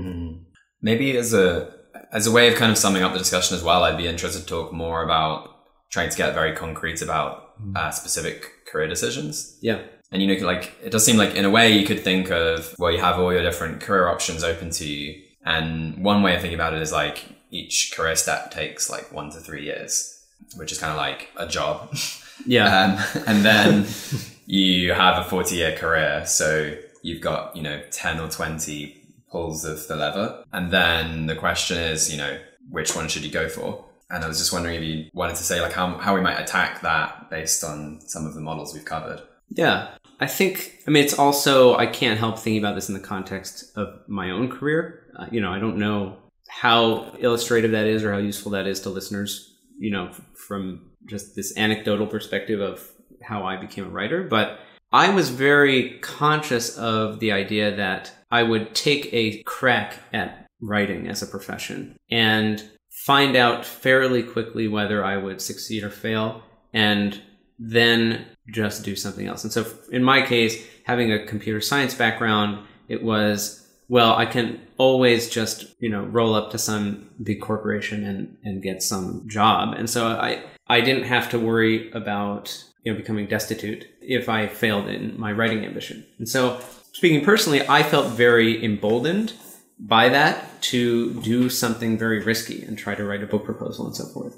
That was a little bit like the upper confidence interval where you're like, Yeah. being writer would be a real like kind of dream job for me. I'm not really sure if I can make it work, but like it's worth giving it a go and I can always just switch back to the kind of like normal job path afterwards. Yeah, and I, I- yeah, I remember having a conversation with my undergraduate writing mentor, and I was talking to him about uh, should I go into graduate school and so forth. And his advice to me was, I highly recommend that you only go to graduate school if you can go to a program that's funded because part of what you are trying to do is make a life as a writer and if you graduate from even a really good program with you know $50,000 or $100,000 of debt, then that is going to rapidly put pressure on you to either immediately professionalize as a writer or immediately abandon that path because you've got to make your loan payments. And I thought that was really kind of astute advice. And that's not, that's not the kind of advice that fits on the axis of, you know, go for your dreams or not. Um, I thought it was very pragmatic and sort of had this eye to the option value of being in a position to make slightly risky moves as an adult. I thought that was really mm. kind of astute advice. So that that's something that I think people can think about from the perspective of making those really early decisions about whether to get, you know, for example, if you get a law degree or a medical degree, those degrees are so expensive that it is very hard to do anything other than law or medicine in part because you need to pay off your law and medicine training and those are, you know, generally lucrative ways to do that. That's a good example of an, a multi-arm that bandit that actually has a negative payoff because if you go and try and qualify as a lawyer and then you realize you hate this, you've actually invested a ton of money. So you're worse off than yeah. you started. Yeah. And so, I mean, I, th- I think I mean, you, you guys and, and the 80,000 hours community surely has thought more about this than I have explicitly, but I think on the whole, people probably spend less time testing those waters than they should, particularly because they come with these big switching costs. Well, yeah. So the advice in our career guide that's currently up is kind of like if you are pretty confident that this path seems best, then like probably figure out how to go for that. But obviously have a backup plan, but you know, go for your mainline option. But if you're uncertain, which many people, if you feel very uncertain, which many people are, then we encourage people to make a plan to try out several things over a few years. And, you know, one way you can do that is uh, before graduate school, you often have like a couple of year period and you can kind of do something a bit different and then you can go to graduate school. And mm-hmm. that's a way of kind of ordering things that lets you try out some things. But then when I actually read the book and thought about upper confidence intervals, I wondered if the kind of advice of go and try out a couple of things is actually not quite the right advice. Instead, you should think, which thing seems plausibly best mm, and then mm. just do that straight away um, and like switch later i mean that's obviously ignoring many of the, the complications we've covered but uh, it made it made me made me pause the thought that maybe the advice should be more along the lines of do the kind of plausibly best thing uh, yeah. rather than kind of plan to try out lots of things. Well in a way you know you're describing the tension between epsilon decreasing and upper confidence bound. Yeah. And you can you can be buoyed by the fact that they're they both offer you um, you know, asymptotically logarithmic regret.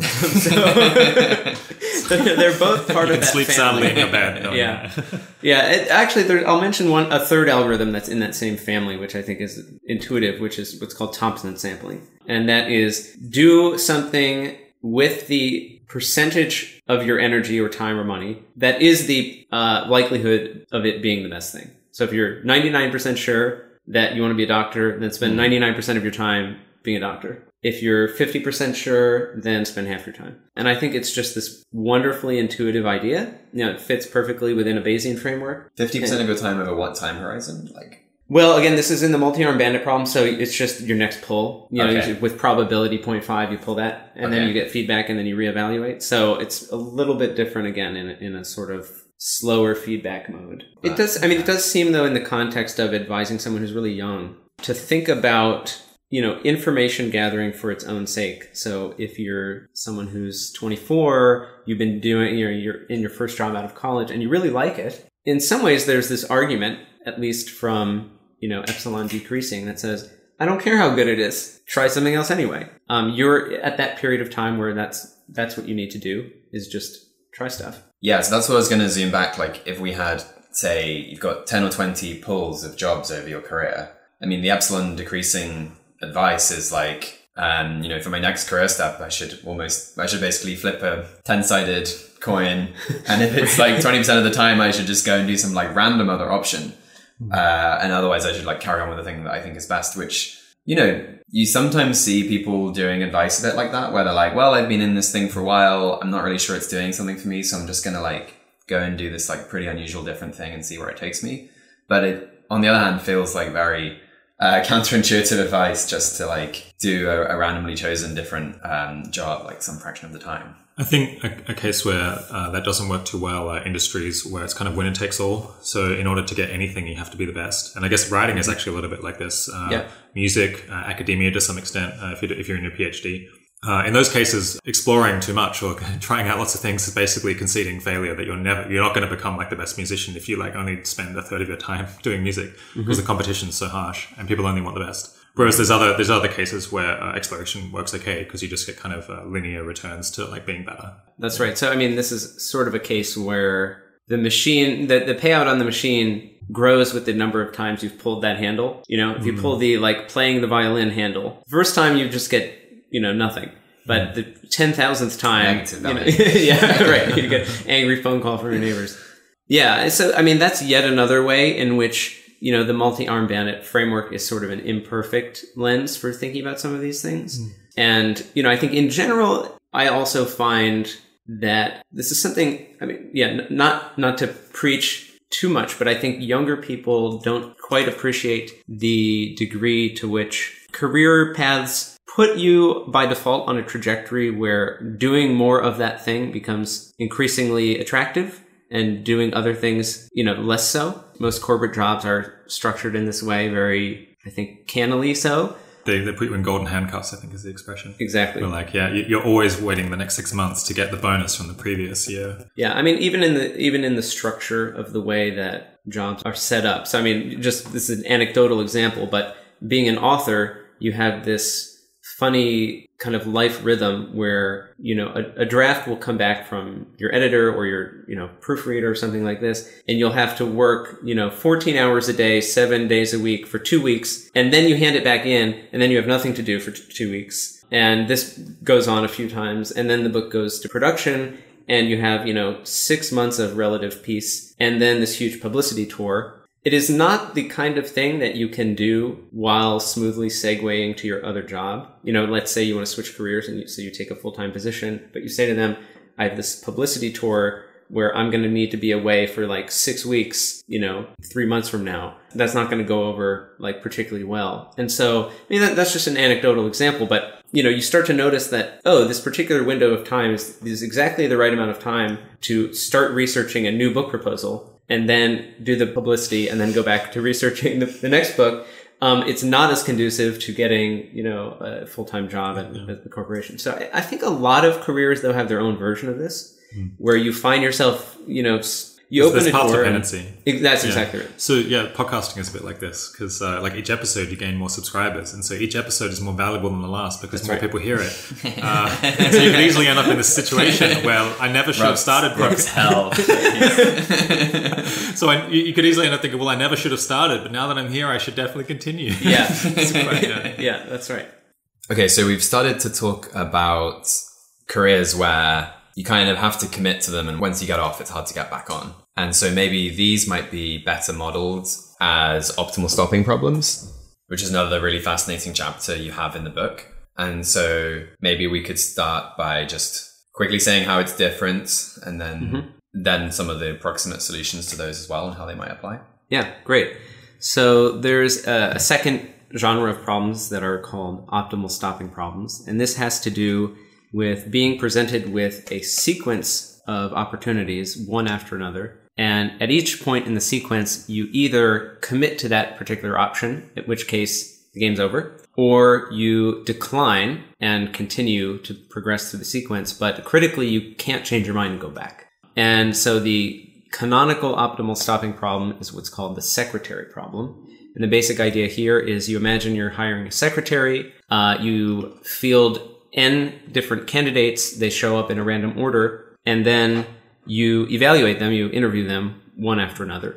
And because of whatever constraint, uh, you either have to hire that person on the spot and dismiss everybody else, or you send them away, in which case you lose the ability to change your mind and hire them later. And so the problem here is how do you attempt to hire the very best candidate in the pool, given that you are establishing a, a baseline essentially as you go? Um, and so there's a risk, of course, that you stop too soon. There's a risk that you establish too high of a standard and then no one after that point exceeds it.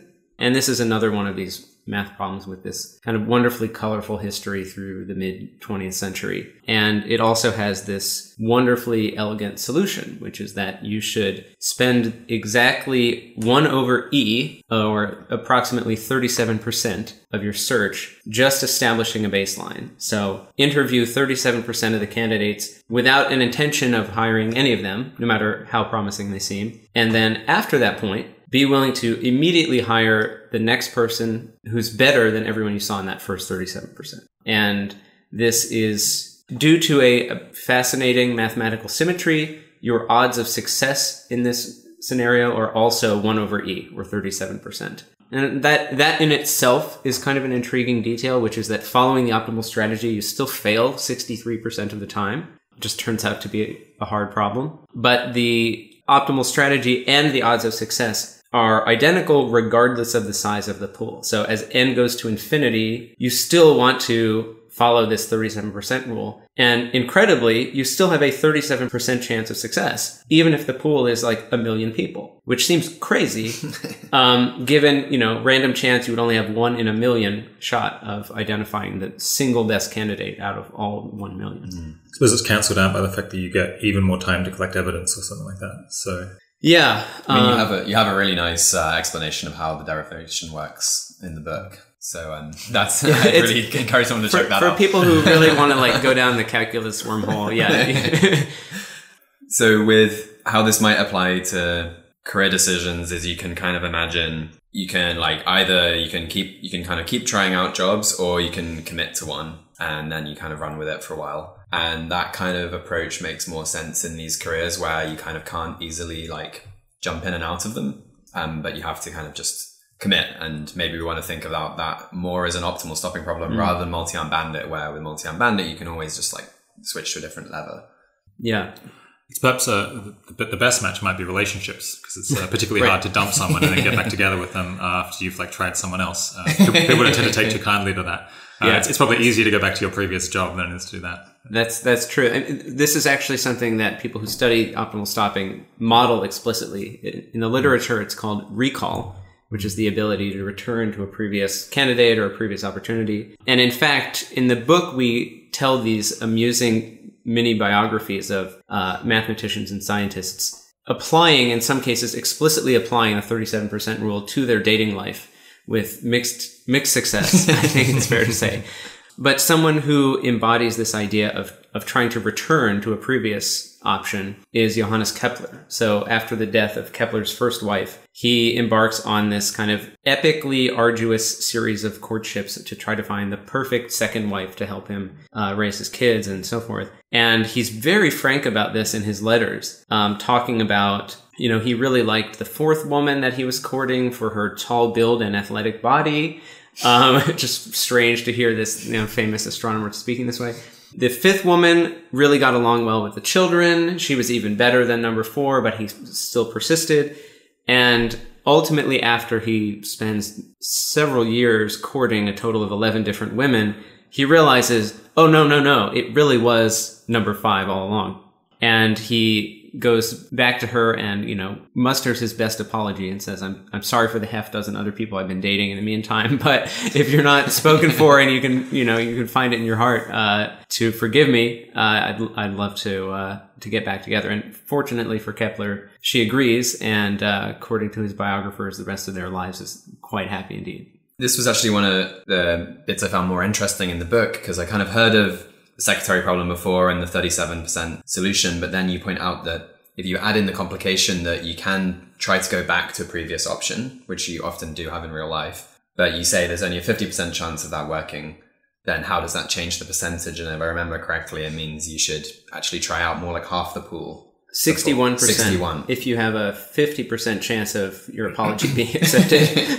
so it means, but it means you should explore way Quite more. That's right. Um, yeah. Which, which is, is intuitive. That's right. And so it's interesting, you know, in his diary, Kepler bemoans what he calls his restlessness and doubtfulness of you know he's kind of beating himself up of why did I keep dating all those different women when number five was so amazing? And if you look at the math, you know he was following the optimal strategy uh, where you shouldn't be willing to commit until you're 61% of the way through the pool. And so, in fact, he you know you could argue that he was doing the the optimal thing, although it certainly caused him a lot of stress over the years. Okay, so in that chapter, you go through progressively more sophisticated uh, versions or models of this problem. So you start out with the case where all you know is whether this uh, applicant is the best that you've seen so far and you can't backtrack at all. Uh, and your goal is simply to maximize the probability of choosing the very best one. Yeah, and that's a very important thing to highlight. Yes. So I yeah, that, I think that makes it like not not terribly realistic or not similar to Yeah, what I people are actually trying to do in real life.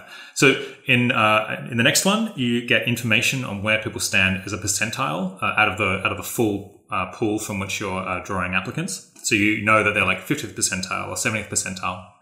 And then you end up with a threshold for hiring based on how many uh, more you're going to see after that one. That's exactly uh, before you run out. Yeah. Then there's the the backtracking one, which allows you some probability of backtracking, which suggests much more exploration. Then you add a, a cost to holding out. So like every period that you don't hire someone, say you don't have the secretary or you're single and you find that unpleasant, uh, which pushes towards obviously hiring somewhat sooner, depending on how large that cost is. And then there's another one uh, where you talk about uh, selling a house and uh, looking at different offers on a house where this starts, I think, to get a lot more realistic because now you're getting cardinal information about the dollar value that the different people are offering rather than just their ordinal value. So you're not just saying this is better than the previous one. Um, you're saying uh, I'm going to get five hundred and fifty thousand dollars for the house, and that compares with like five hundred twenty, and I think like six hundred thousand is the uh, largest offer that I'm reasonably likely to get. And so that starts to seem more like a real case. And in that example, I think the process that you describe is for maximizing the expected value that you get for the house, the, the Yeah. expected price. Yeah, that that's right. So I want to highlight, you know, you mentioned this the difference between cardinal information and ordinal information, which I think is kind of philosophically an extremely deep idea. So with ordinal information, you only know whether any two things are, which of them is better than the other, but you don't know by how much. Um, with cardinal information, you both know which of the things is better and you know by how much it is better. And there's, for me, th- this fascinating uh, kind of philosophical uh, theme that goes through math of what is the value of cardinal information above and beyond just the mere ordinal information. And in the case of the secretary problem, your odds of success following the best strategy if you only have ordinal information is 37%. With cardinal information, it's, I believe, 54%. And so it allows you to get the very best candidate in the entire pool more than half of the time. And so I think it's just fascinating to see the additional informational value of cardinal scores being made concrete and, and very explicit. Um, so in the house buying scenario, so what you highlighted there is again, one of the things that we can tweak in an optimal stopping problem is what is our objective function? So in the classic secretary problem uh, from which the 37% rule is derived, you only care about maximizing the probability that you get the single best candidate in the candidate pool. Anything else is equally bad. So getting the second best is just as bad as getting the very worst. And so the 37% rule is optimized accordingly. There will be a 37% chance of course, that you skip the best candidate in your calibration period. And if that happens, then you'll never hire anyone else because no one else will be better. And then you'll end up stuck with the final candidate, which is just randomly drawn from the pool. So there's a 37% chance right off the bat that you end up with a completely random candidate. Now, of course, you may find that unrealistic. That doesn't really model what people are seeking in that situation. And there are a number of different objective functions that people have played with. So one of the ones that's gotten a lot of uh, traction in the technical literature is what's called uh, minimizing the expected rank. So if you rank all the candidates from 1 to n, what is the strategy that in expectation minimizes the rank order of the applicant that you end up with? There's a whole separate literature on that. And then in the case of selling a house, so this one I think is especially interesting and, and relates to a lot of real world situations. Let's say you pay some sort of fixed cost every week that your house is on the market, you're making mortgage payments or you're paying the utilities or whatever it might be. And your goal is not necessarily to sell the house for the highest possible price if that means holding out for a really long time. Your goal is to make the most money. And so I think that's interestingly and meaningfully different. And so in this case, you might well be willing to take something that you know is pretty good, immediately and get yourself, you know, that whatever that gain or that profit right off the bat. And so in cases like this, there's usually a very straightforward rule that you can apply in the situation. So if you pay, let's say, a fixed cost for every additional offer that you entertain. It should be quite easy to determine the probability that a new offer is better than the one you currently have, and then multiply that by the expected value of that better offer if it is a better offer. Um, so what, what's the chance that it's better? And if it's better, what do I expect it to be? And you just set that equal to the cost and then that tells you what at what threshold you should accept an offer. And so there's something just kind of beautifully straightforward about that and it enables you to I think confidently just set a price going in and then essentially ignore the offers that come in. Uh, you don't have to do anything. You just wait until that threshold is reached and then you're good. So, of course, this leads us into the direction of what about situations where you are adjusting your model of the distribution from which the offers are coming in real time as you're getting offers. And so broadly, the, the way that the literature is divided in optimal stopping, there are what are called no information games. So th- these are the ordinal scenarios like the secretary problem where you don't know the distribution from which they're being drawn. You only know the ordinal information. There are so-called full information games where you know that, let's say you know your secretary's typing test percentile or something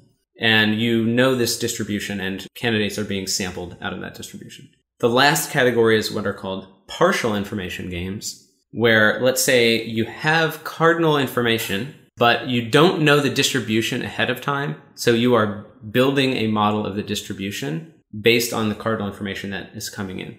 Needless to say, the solutions are much less clean in the partial information version, but for better or worse, it also appears to be the best model for most real world situations.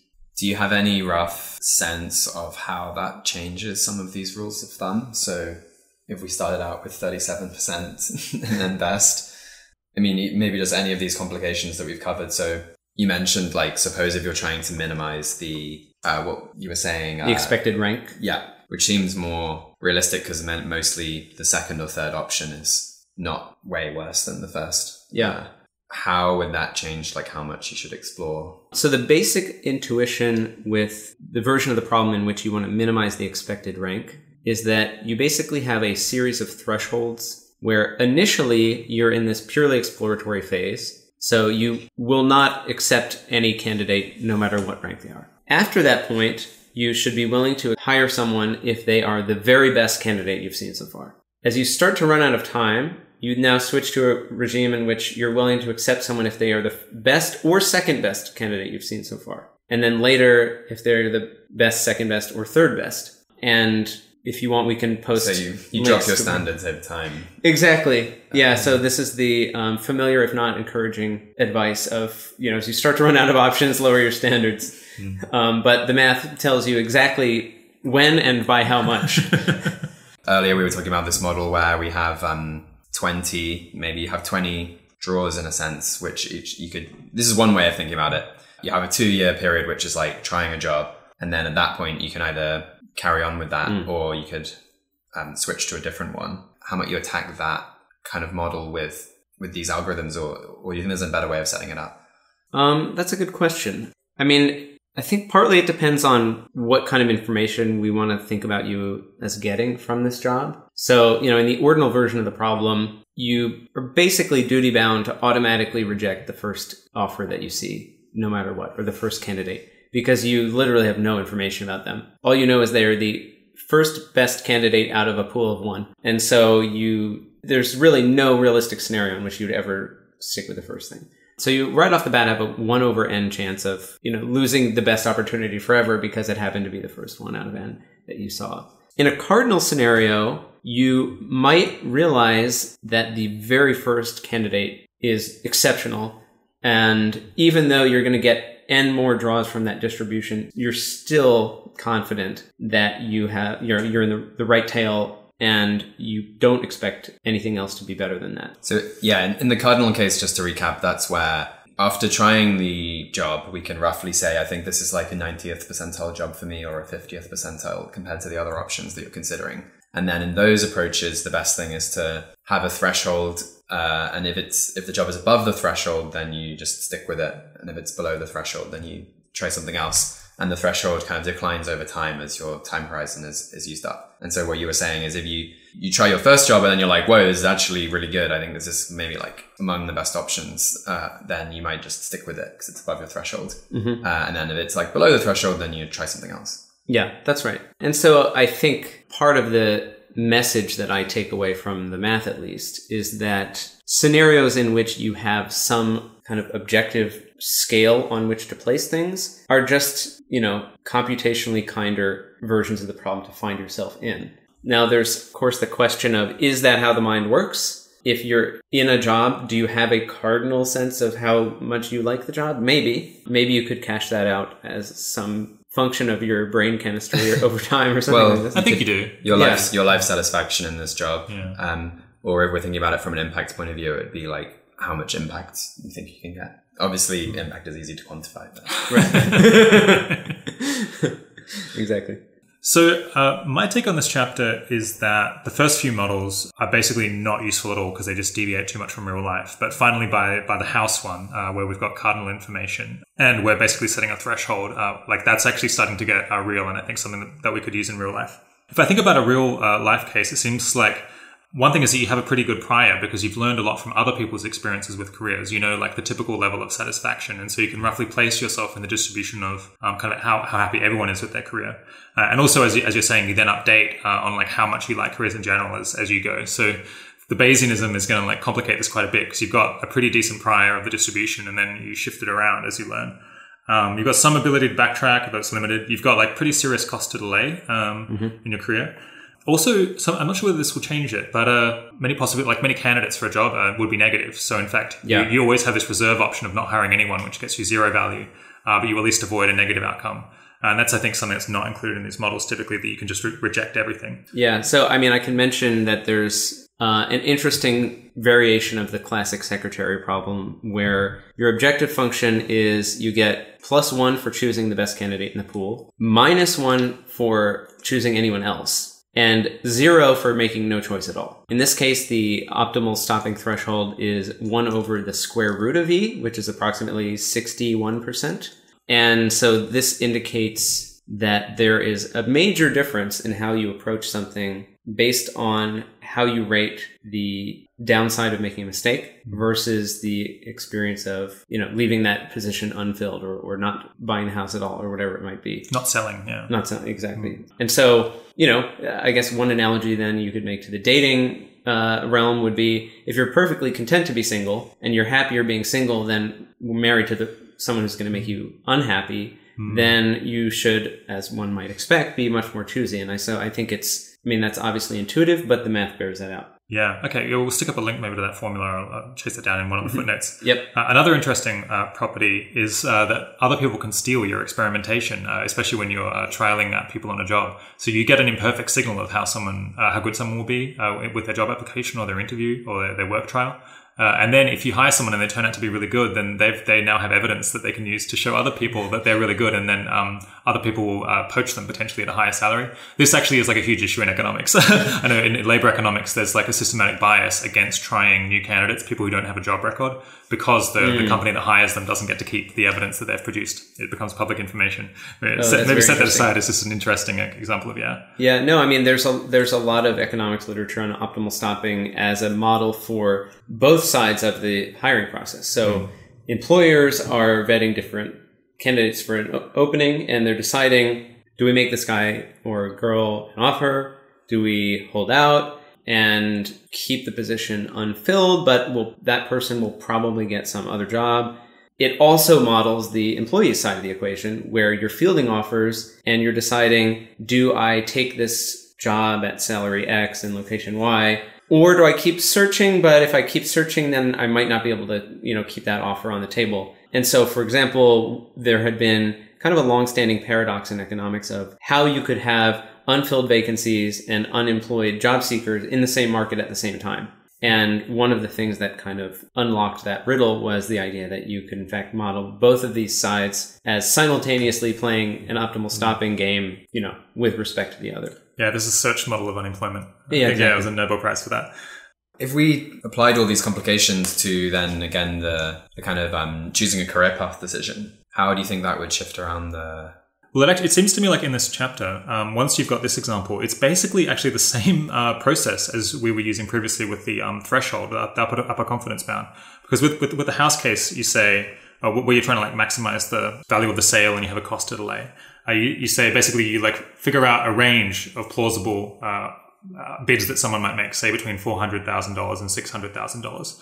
And then that's like, yes, you got the, the lower and the higher, and then you know the cost to delay relative to that range, and then that determines what your threshold will be in that term. And I guess if all of the parameters are constant for every turn until you actually sell. So you basically just, again, have this threshold based on the parameters that is going to be very similar to the upper threshold uh, thing in the previous example, except that that one you update more as you get more information, whereas in this one you just assume that it's kind of a constant range that, that you never. Wait, so once you've got the threshold, what what determines whether you accept it or not? So if I make a five hundred thousand dollar bid, Yeah, so there's a formula where uh, it depends on how unpleasant it is to uh, turn down a bid and wait for the next one. So what's the cost of delay? So you've got basically uh, yeah two different things. One is the magnitude of the range, which in this case I guess would be two hundred thousand dollars, and then you figure out how frequently the bids come in, and then you figure out what is the cost of delaying to wait for another bid. So it's ten thousand dollars. yeah. So if it's like ten thousand dollars a week and you get one bid a week or Yeah. something like that, Yeah, so I mean, I can give you some actual numbers if you want. so, yeah. you know, we walk through this example in the book of imagine that you're selling a house and you're expecting offers uniformly distributed from four hundred thousand to five hundred thousand dollars. So this is probably not realistic in the Bay Area. so if the cost of waiting is only one dollar per offer, then you should set your threshold at four hundred ninety nine thousand five hundred fifty two dollars and seventy nine cents. and that means if anyone offers you over that, you take it. Exactly. Otherwise, you keep waiting. Exactly. If waiting costs you two thousand dollars an offer, uh, you should hold out for four hundred eighty thousand. If waiting costs you ten thousand dollars an offer, it goes down to four hundred fifty-five thousand. And then, lastly, if the cost of waiting exceeds fifty percent of the range over which offers are expected to come, then that means you should literally take anything because the cost of fielding an additional offer exceeds the expected value of doing so. Awesome. So, so I really like how these two processes for, I guess, like similar cases have converged on basically a very similar heuristic where you, where you set a threshold and like, yeah, go above, uh, accept anything above and not below.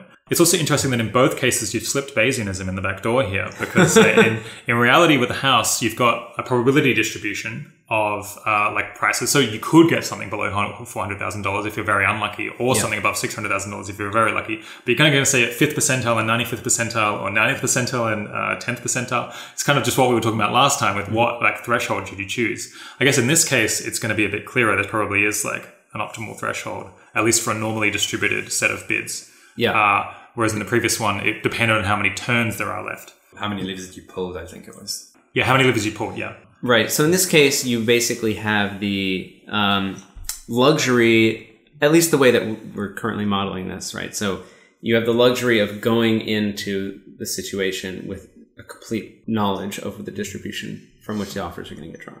In reality, you know, you have a, a partial sense of that. You know, you if your first several offers are disappointing, you think hmm, maybe the market's cooling down, or you know, whatever. And and I think a Bayesian framework is probably the right way to think about how you should be doing that. There's some work on how you should incorporate prior experience in other versions of the problem when you then face an additional version. And I think the rule of thumb is something like consider all of your prior experience, basically tack that on to the beginning of the candidate pool, and then imagine that you've already sort of been through that. Hmm. So if you previously hired a position where there were 10 candidates, you interviewed four of them and let's say chose the fourth, then the next time you're hiring, you can essentially prepend those first four uh, and imagine yourself now in a new version of the problem where you, you're you're starting on candidate five, as it were. Yeah. So there are That's some nice heuristics for thinking about that. Yeah, I mean, I was just thinking how we'd set up the model. So if we were going to use, does it make sense to maybe we could try using life satisfaction as the scale? Though I guess that's not a fully uh, cardinal scale, but Maybe with life satisfaction, you kind of got a situation where you know that like most jobs are around a seven out of 10 for life satisfaction, but like a few are nines and a few are like fives.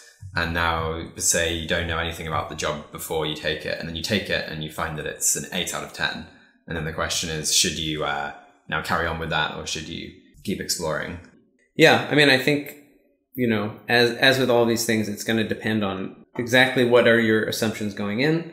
Um, you know, are you assuming that you have a ordinal versus cardinal sense of your life satisfaction? Can you make use of you know reports of other people who have been in that profession? You know, there's some interesting psychology work to the effect that people are worse at predicting their future life satisfaction than they think, but other people's reported self life satisfaction are more relevant Yeah, uh, to you than you would think. Yeah.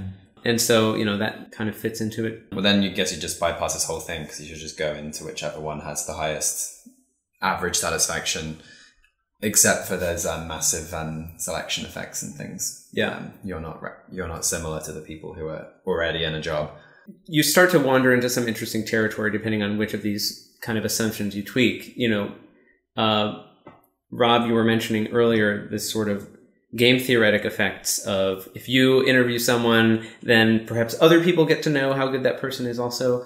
There's some interesting work on sort of an ecological analysis of something like the multi-armed bandit problem, where everyone in a given society is basically playing this game of chicken where everyone wants someone else to do the exploration. Like it's rational for any individual to be pursuing a much more heavily exploitation based strategy as long as someone somewhere else is creating the information. And part of what I find kind of charming and counterintuitive about this is that you realize that people who are very exploratory by nature are performing a public service. Like we think about people who have this disposition of being very novelty seeking, always trying new stuff.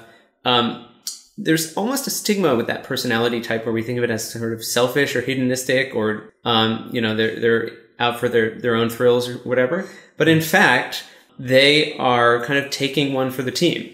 They're, they're martyring themselves to be the explorer. And if they find something that is no good, then they alone have paid the price. But if they find something great, then they've created this public externality of now everyone goes to that restaurant or whatever. As long as there's not a downside tail, if there's like lots of negative risk, that especially uh, negative risk that other people bear, then, Oh, then it's true. that uh, So like if it's Yeah. finding new technologies or something, and there's a chance you discover that it. kind of thing. Yeah, I think that might be part of where the uh, stigma comes from. Is that uh, Mm-hmm. people like that often take risks that other people have to suffer from. That's fair. Yeah, I, I was, I guess, implicitly imagining some kind of hunter gatherer where it's just you go eat the weird mushroom and the mushroom doesn't kill everyone else. yeah. That's a point we actually are somewhat making in an upcoming article, which is if you there's thinking about doing good as an individual, but often what we're doing is actually doing good as part of a community. Yeah. And in that, you very much have that dynamic where it becomes more valuable to explore um, because then other people can make use of what you find and you get this um, externality over the community. Yeah, that's right. So one one of my favorite interviews that we did in the book was uh, the editor at Pitchfork, whose name is Scott Plagenhoef, and he was talking about you know just what is what is the affect of being a music critic, like what is the the lived experience of being a music critic. And he was saying, you know, you, you think about a music critic's life as you're someone with like very specific musical taste. You get to listen to music all day long. And he said, in reality, it's, it's actually like hellacious because you're specifically someone who has very high standards in music because you've heard, you know, all of the music and you know exactly what you like and what you want. And yet you're forced to wade through this just ceaseless stream of, you know, mostly bad stuff. Um, and so he was telling us how he would physically remove his favorite artists from, you know, his phone so that he couldn't break in his resolve to keep listening to the, to the new things. And so I think there's a, again, that aspect that we don't fully appreciate that, you know, th- there are people in society or in any organization or any tribe that are in a way exploring so that others may exploit. And as a form of martyrdom, I think we should kind of recognize that. Yeah, I think that information economics and especially information externalities uh, might make my like top 10 list of most important concepts. And I think it's a very Yeah. underrated uh, idea. The fact that uh, the market for goods, like, yeah, um, the, the drinks that we're having and the food that we eat and the furniture that we have in our houses is very good, but the market for information is garbage, absolute garbage, because it, it's not privately controlled. Uh, we try with patents and copyright, it doesn't really work, especially not with like uh, news and lots of kinds of evidence. And also, uh, at least in, often in the case of politics, the people who you might expect would want the information or the people who would benefit from it existing in general don't necessarily want to consume it themselves uh, mm. because, because all of the impacts that they have in terms of how they vote are also externalities. So you've got like both uh, the supply side and the demand side are seriously broken, uh, which I think actually is like a fundamental reason that uh, lots of things in society don't work. Very often you see that there's like information economics, but basically there's, there's no reason to expect the free market to produce good outcome here. Uh, mm. And so while we're, we're, very rich materially, we can be like very poor informationally. Um, That's a succinct mm. description of society at the moment. It feels there are some interesting papers. If people want, we can put links up that have looked at these sort of you know, evolutionary or ecological models of you're a society in some environment. What percentage of your society should be these people with this very exploratory disposition? What percentage of your society should be these mm. conservative exploiters who are just doing the safe thing? Um, and that, you can find yeah. sort of optimum levels of, of that, you know, at a population level rather than thinking at the level of an individual decision maker. That would be really, yeah, that'd be really relevant to us. That'd mm. interesting. Uh, let's move on to randomness and simulated annealing, the uh, third case. Maybe this is a good moment to uh, just take a step back and uh, distinguish like what are the fundamental differences between these three models and where you'd want to apply each one. Yeah. So I guess the first one, you have multiple different discrete options that you're kind of choosing between, and you get to do them again and again. And switch between them. In the second one, uh, the distinctive thing is that you want to choose one best one at the end, and you uh, can't necessarily return to previous options. This is one where it seems like you want to create kind of a structure or a combination yeah. of things by the end, rather than just like choose one out of many options. It's about how they are interlinked. And especially when the search space is so like the issue is that the, the space of possible options is so vast that you can't try them all. And instead you have to have some process for sorting through them or yeah, searching through them. So yeah, yeah. Uh, I guess take it away. Yeah. So I think one one of the key differences in sort of moving into the idea of simulated annealing is that in a lot of the cases that we've looked at so far, the options that we're considering are essentially independent. So, you know, if you pull the lever on machine three, that doesn't really tell you anything about machine four. Um, it doesn't suggest anything about you should try something else in that neighborhood or something at the other side of the room or whatever. But there are a lot of cases in life where the space of possible options actually has meaningful local information and options that are similar in this, you know, decision space have similar outcomes. And so you can model the space of possibilities as some kind of high dimensional space. And so there's this idea of what's called the error landscape. And you can move around on this error landscape in local ways. So, I mean, one example would be I mean, the, the, the, classic optimization problem in this area that I have in mind is what's called the traveling salesman problem, where you are trying to visit all these different cities. You want to put together some itinerary that visits them all and doesn't go to the same city twice, let's say. And your goal is to minimize the total trip. So you can think about moving through this parameter space as, let's say you switch the order in which you visit just two out of those cities. Well, it's likely that that is going to have a similar trip length. And so you can think about options as kind of contiguous in this way. So the simplest approach is what's called hill climbing. So in hill climbing, again, using this metaphor of the, you know, fitness landscape or the error landscape, you simply look around in your immediate environment and if some local modification is better, then you just do that. So in the traveling salesman case, it would be you swap the order in which you visit two of the cities and now you visit them in reverse order. If that is lower total mileage, then okay, great. You adopt that change and then you pick two other cities at random and you see if swapping them is better. And you just keep doing this and making these incremental improvements, these like small local changes that improve you slightly until you eventually find yourself at a situation where no local permutation is better than what you currently have. Uh, and this is what's called a local maximum or a local minimum, depending on if you want to think about yourself as trying to go up or down. And the problem that any optimization person faces is trying to figure out essentially how to get out of these local minima or local maxima. So you've hill climbed your way to this particular trip itinerary that is better than any local modification. Now what? And so the question of now what leads to this whole family of, of different answers for dealing with making progress in these landscapes. And uh, many of them, if not most, uh, involve strategic use of randomness. So, for example, one idea is what's called shotgun hill climbing. So, in shotgun hill climbing, every time you get to this local maximum, you just completely start over from a completely random point, and then you start hill climbing from there. If you do this enough mm-hmm. times, eventually you'll find local maxima that are better and better. So that's one extremely simple technique. There's another idea that's what's called the Metropolis Hastings algorithm. And that says when you try this local permutation, if it's better than what you're currently looking at, do it. If it's worse, maybe still do it anyway.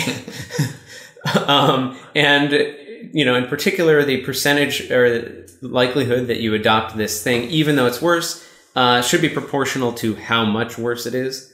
But this is one strategy for trying to make progress, even if you're kind of locally stuck. Um, there's an even simpler idea called jitter, which just says when you get stuck, jiggle some things around at random and then go back to mm-hmm. So the Metropolis algorithm says build a little bit of randomness into every move that you make. And then the idea that's kind of built on top of the Metropolis Hastings algorithm is what's called simulated annealing. And so there's a, a cool backstory to simulated annealing that goes to IBM uh, in the 1980s, I want to say. IBM is doing this really complicated optimization where they're trying to fit the circuits on their chips in, you know, the most compact and efficient way. And it involves all these super complicated dependencies of, you know, if we move this thing over here, then we have to reroute this wire, da da da da da. And it just so happens there's this guy at IBM who's like the chip layout guru. And for some reason, he comes up with better layouts than anyone else can. And he won't tell anyone else how he's doing it. And he's. Does he know? That's ambiguous in the book, is whether it, uh, he's hiding his particular knowledge or whether he just can't describe it. It's ineffable. Um, I was not able to interview the guru, yeah. I, so I didn't hear his version of that story. But that, I think that's a that is kind of a tantalizing question. Mm. So a group of other researchers at IBM were sort of frustrated at the, the, the cult of personality that this person was kind of cultivating around himself. And they thought, well, let's try to approach this in a bit more of a repeatable and rigorous way. And one of the people involved in this was Scott Kirkpatrick. And at this point, he thought of himself not as a computer scientist, but as a physicist. And so he was really interested in how materials cooled. So if you heat something up and then it cools, sometimes it turns into a crystal, sometimes it turns into glass with no like uh, crystalline structure. And often this has to do with just the speed at which you cool it. So if you cool it really, really slowly, you're going to get a crystal. If you cool it really quickly, you're going to get a glass. And so this got him thinking about this analogy of temperature in real space is kind of random Brownian motion. And this is kind of analogous to this random motion in a hill climbing situation that the Metropolis Hastings algorithm embodies. So what if we attempted to use this annealing metaphor. So annealing is the process of cooling this material slowly to create these um, ordered structures. What if we started with this randomness dial cranked all the way to 11 and then slowly, slowly decreased it until eventually by the end we were just purely hill climbing? It turns out that in fact, this works exceptionally well and it's still to this day one of the best practices in optimization. And at first, of course, uh, their community is very skeptical of this kind of analogy based idea of like, okay, you've found this kind of parable of this is kind of like cooling a piece of glass. That's cute. But it was producing better designs than the guru was coming up with. And then, of course, the scholarship caught up and, and found that this is, in fact, you know, a, a really good way to approach problems that are this complicated. So to kind of recap the solution, you're dealing with some kind of problem, you've got a bunch of parameters and you're trying to find which parameters maximize the outcome you're going for. And then you do that in a bunch of steps. And so one step, you take one of the parameters and you try jiggling it one way or the other, adjusting it one way or the other. And then when that happens, either it can be better than before, in which case you always go for that, mm-hmm. or it can be worse, in which case you um, sometimes go for it and sometimes don't. And that's you have this kind of random randomness parameter. And then basically the, the chance that you go with the worst option anyway, just to explore it, uh, goes down over time and that's the uh, that's the annealing part of it, part of it, um, which then just goes back to the concept we covered right at the start, where generally you want to explore more early, to do more random stuff early, and then focus more and more on what you think is already best uh, over over time. And then maybe this can apply to certain aspects of career decisions because sometimes what you're doing with a career looks a bit like a kind of design problem, mm. where say you're in a you're in a job and there's various ways you can kind of adjust how that is. So you could like work at home, or you could like work in the office, or you could work more on sales, or you could work more on product design, and you like don't know which of these things is going to be best for you. And what this process might kind of suggest is uh, early on, you should, you know, you should keep experiment, trying different ways of doing all these things. And, you know, if you find a thing that's better, you can move into that. And that's your hill climbing. And then uh, occasionally you're going to like, you're just going to do something that you think is probably worse, but um, you're just going to do it anyway because right. uh, maybe it will turn out to be better. Yeah. And you, that might unlock a whole new kind of area of things for you that uh, you would have just missed otherwise if you hadn't had that randomness. But then you're going to commit more and more to the things you think are best over time. Yeah, I think one key idea here that differentiates it, say, from something like upper confidence bound in a bandit context is it's not necessarily that you think this new thing will turn out to be better. Usually the way these problems are constructed is you just literally know it's worse. You know, the, the chip design uses hmm. more silicon or uses more copper or whatever. It's that this might be sort of a segue or like an isthmus to a different part of the space. And so it might be that, for example, just taking a chip design that looks really good and then moving the power supply to the other corner, leaving everything else the same is super bad. but once you then start optimizing around that, you end up in a different part of the space mm. and you end up with something that's better overall. It seems to apply this to real life, you'd have to think about different properties of your life where the con- like there's many of them that can be like flipped in different ways. So you've got maybe the profession that you're in, the company that you work at, the city that you're in, the friends that you have, where you live, kind of uh, whether you work from home or not. And you can't. It's not possible in your lifetime to explore all of the possible combinations there.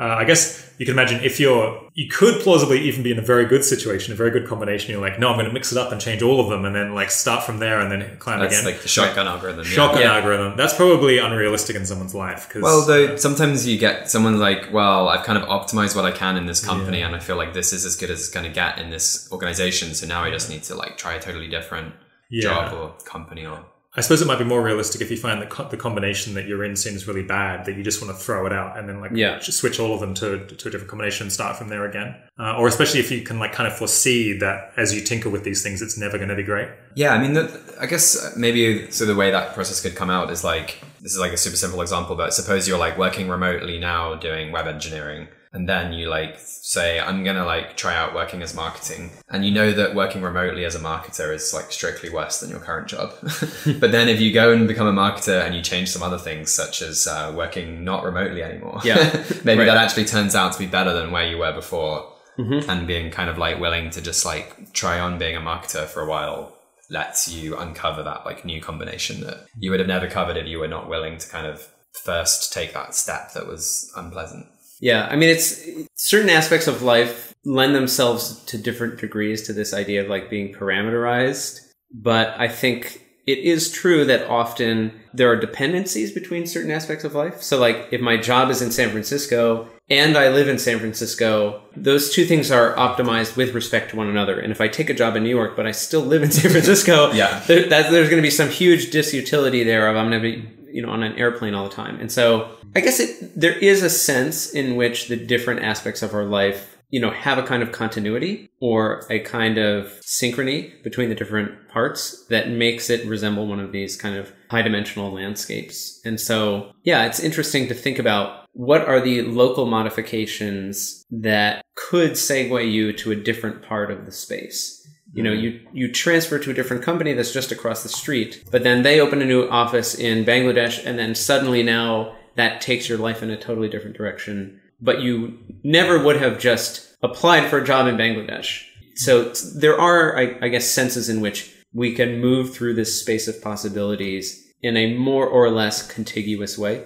So you can sort of think of it in these terms yeah, uh, another thing is this model only applies if the combination has special properties. It, if, if you just add up the value of each one separately, then you just yeah. optimize on each one individually. Uh, it's only if there's like some uh, kind of chaotic function of, of the combination yeah. that you need to do this random uh, hill climbing thing. Uh, my favorite analogy for this is uh, jimmying a lock, right? So jimmying a lock works by optimizing each pin on its own. Yeah. You just figure out how, where to put that one pin, and then you move to the next pin, and you figure out where to put that. So that's that's kind of the difference between like the full combinatorial complexity of needing to uh, adjust all of these things at once versus treating them as totally independent. And of course, you just decompose the problem. Yeah, there was just um, another issue with these exploration puzzles is that um, how we set the time horizon might not be as intuitive as it first seems because uh, I think you actually need to take into account discounting.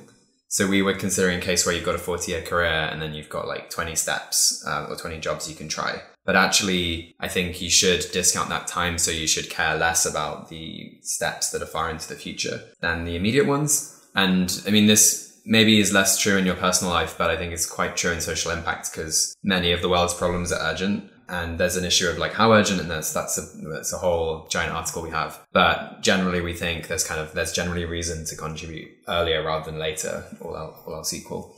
And then you can sometimes model that with a discount rate.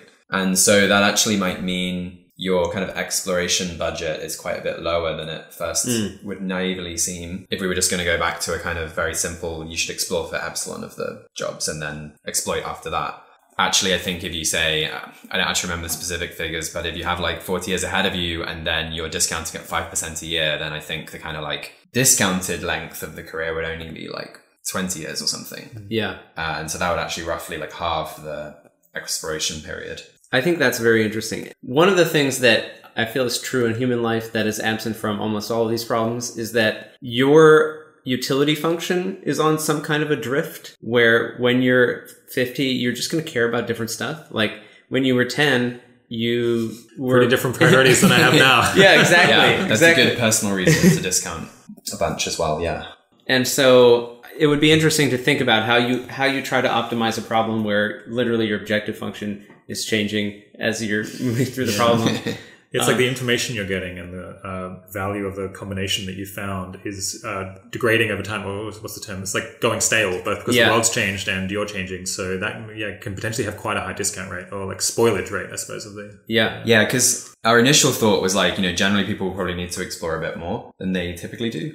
But then actually thinking about, say, you might want to have a reasonably high discount rate from a social impact point of view, that might actually push you much more back towards just like do the thing that is your best guess. And actually, we're also pointing out here the fact that this is now just going back to a personal point of view. If your if your priorities are changing and the world's changing a lot, then again, information becomes less valuable, and you should again just do the thing that like seems best right away. Right. kind of locally. Um, Yeah.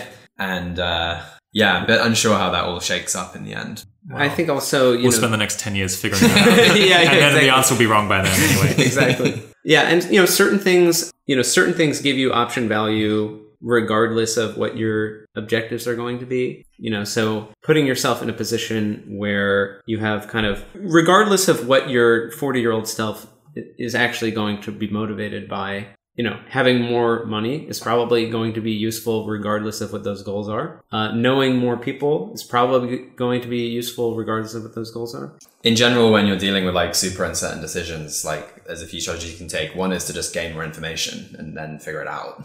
But then the other one is to kind of somehow keep your options open such that it doesn't matter what happens, you're going to be fine anyway. Yeah, or you know, sort of aim for the middle of this objective function space, where you don't know exactly what kind of forty-year-old you're going to be, but you know, you, certain things are predictable, and other things, um, you know, may be useful across a wide range of goals that Exactly. you is going to have. Yeah, so we like talk about that being like flexible career capital, Yeah, where like the career capital is the stuff that puts you in better position in the future. And then you can either have narrow career capital that's like only useful for one path, or you can have flexible that's like useful to lots of paths. Mhm. And the more uncertain you are about what's going to happen, the more you should care about flexible rather than narrow. career yeah, I think that's right.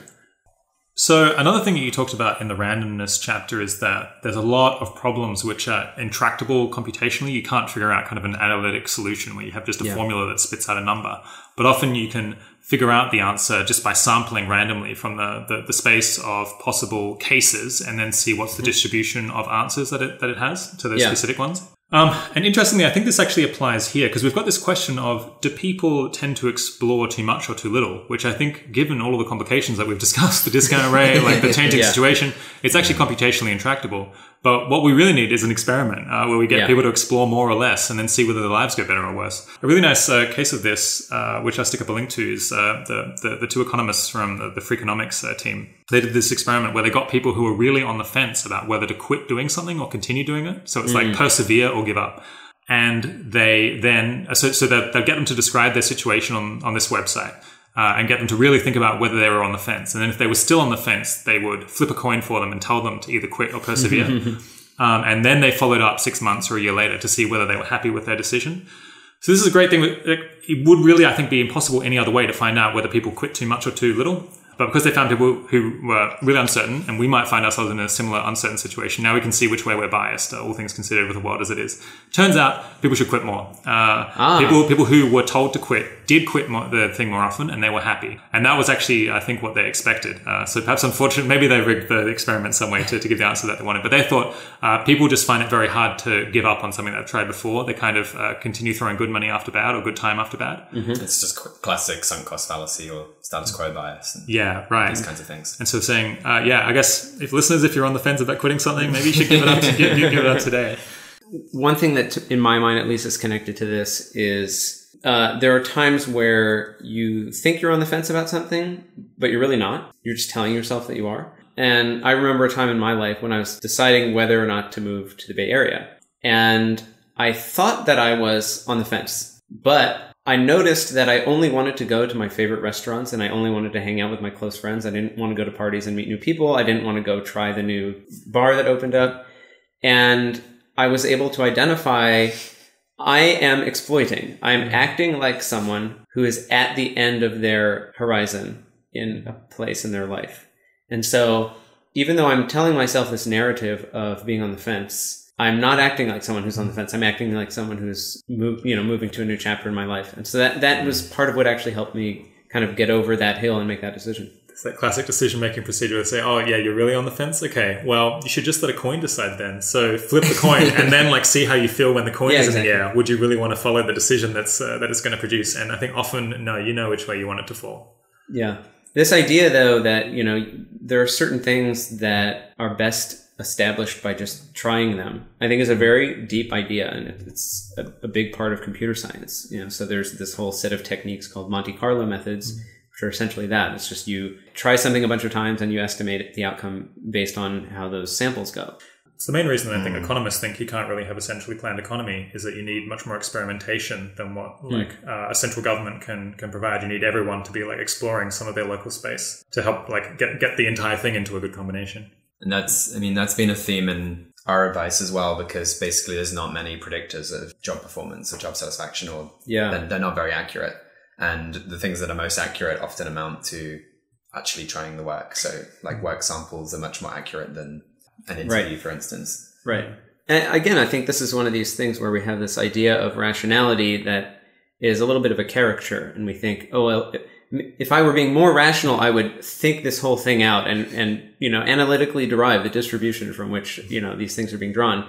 I think there's kind of a reassuring idea that comes out of computer science that says no, it, just trying something is valid. You know, so the idea of Monte Carlo simulation uh, goes back to the scientist Stanislaw Ulam, who was convalescing in the hotel playing solitaire and being a mathematician started wondering, well, I wonder what percentage of the 52 factorial starting positions in solitaire are solvable. Some of them are, are known not to be.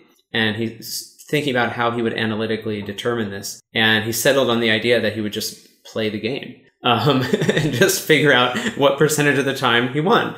Um, and so I think it's it's in a way a real validation that uh, you know someone as smart as him kind of Accepted that something's what yeah. incalculable. exactly and and that there there really is some legitimacy to the idea of just sampling, just trying it. All right, I think uh, Ben, you've got to you've got to head out. I guess that kind of uh, wraps up the exploration exploitation uh, discussion or the Yeah, thanks so much. I found it super fascinating.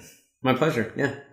Uh, so, one of the most important cases where this exploration question comes in is deciding what problem to work to solve in the world. Uh, so, individuals have to kind of make a decision about what are they going to specialize on global catastrophic risks or poverty or something else. And I guess uh, charitable foundations also have to think about how they're going to allocate, um, how they're going to distribute the, the money that they have in their endowment between different problems that they're interested in fixing. What do you think this kind of research has to has to say about uh, those cases? Yeah, I think that this idea of budgetary allocation connects to some of these ideas from the explore exploit trade off. You know, this is in fact the initial motivation for John Gittins was to help uh, the Unilever Corporation figure out how to allocate their budget. And I think there's a there's a really simple idea that's quite powerful in this context, which is called Thompson sampling. And this is the idea that you should figure out your subjective probability that you think something is the best thing to do, presumably through Bayes rule, hmm. uh, and then you should just allocate exactly that percentage of your resources to it. So if you think something is 12% likely to be the best option, then you should spend 12% of your time or 12% of your money on it. And it's this very intuitive idea, but it's got a lot of kind of powerful mathematical support in terms of uh, it's a regret minimizing strategy and a multi-arm bandit problem and has a lot of nice properties as well as being very intuitive. Interesting. So that's it's optimal under some particular assumptions that aren't too crazy. Yeah. Yeah. Right. Huh. Okay. Yeah. I guess with a, at, a, at, a, personal level though, because uh, the gains from specialization are so strong, um, it seems like that gives you more pressure to just go all in on on your top bet. Although with a foundation where you have many different staff and plausibly different program areas, it seems like you can divide the the funding more yeah, I think that's right. I think yeah. that's right. Yeah, it might be the case for an individual person mm. that, you know, spending 5% of your time doing brain surgery is probably far worse than, than spending none of your time doing it. yeah. Are there any kind of decisions that you think people should randomize more in life? We think they are systematically against trying new stuff? Um, this is a good question. I do think that there are a lot of reasons to embrace serendipity. And I think that's a version of kind of allowing randomness into your life. So I think increasingly the market is kind of moving society or society is moving the market or, or both in this direction towards everything being a choice. And there's something a little bit dangerous about that. I think when things are not a choice to begin with, then you get your randomness kind of for free. You know, a certain song just happens to be on the radio, or you happen to bump into someone uh, at, in some common area and they start talking to you about something. But with Spotify, there's less randomness. It's all chosen for you after once it's learned your taste. right, right, which is which can be quite dangerous, actually. Yeah, yeah, and because you'll never find a new genre unless you go out of your way to do it. Right, and if you do, it it requires some sort of concerted process of choice of actually, you know, overriding whatever its default thing is, and then picking something which you're not really qualified to do. So I think it's it's worth remembering that you know noise has a role randomness has a role, serendipity has a role. And I think increasingly we are kind of pushing those things out of our lives. And we do that maybe at our peril. I, th- I think we're starting to appreciate the value that those things have.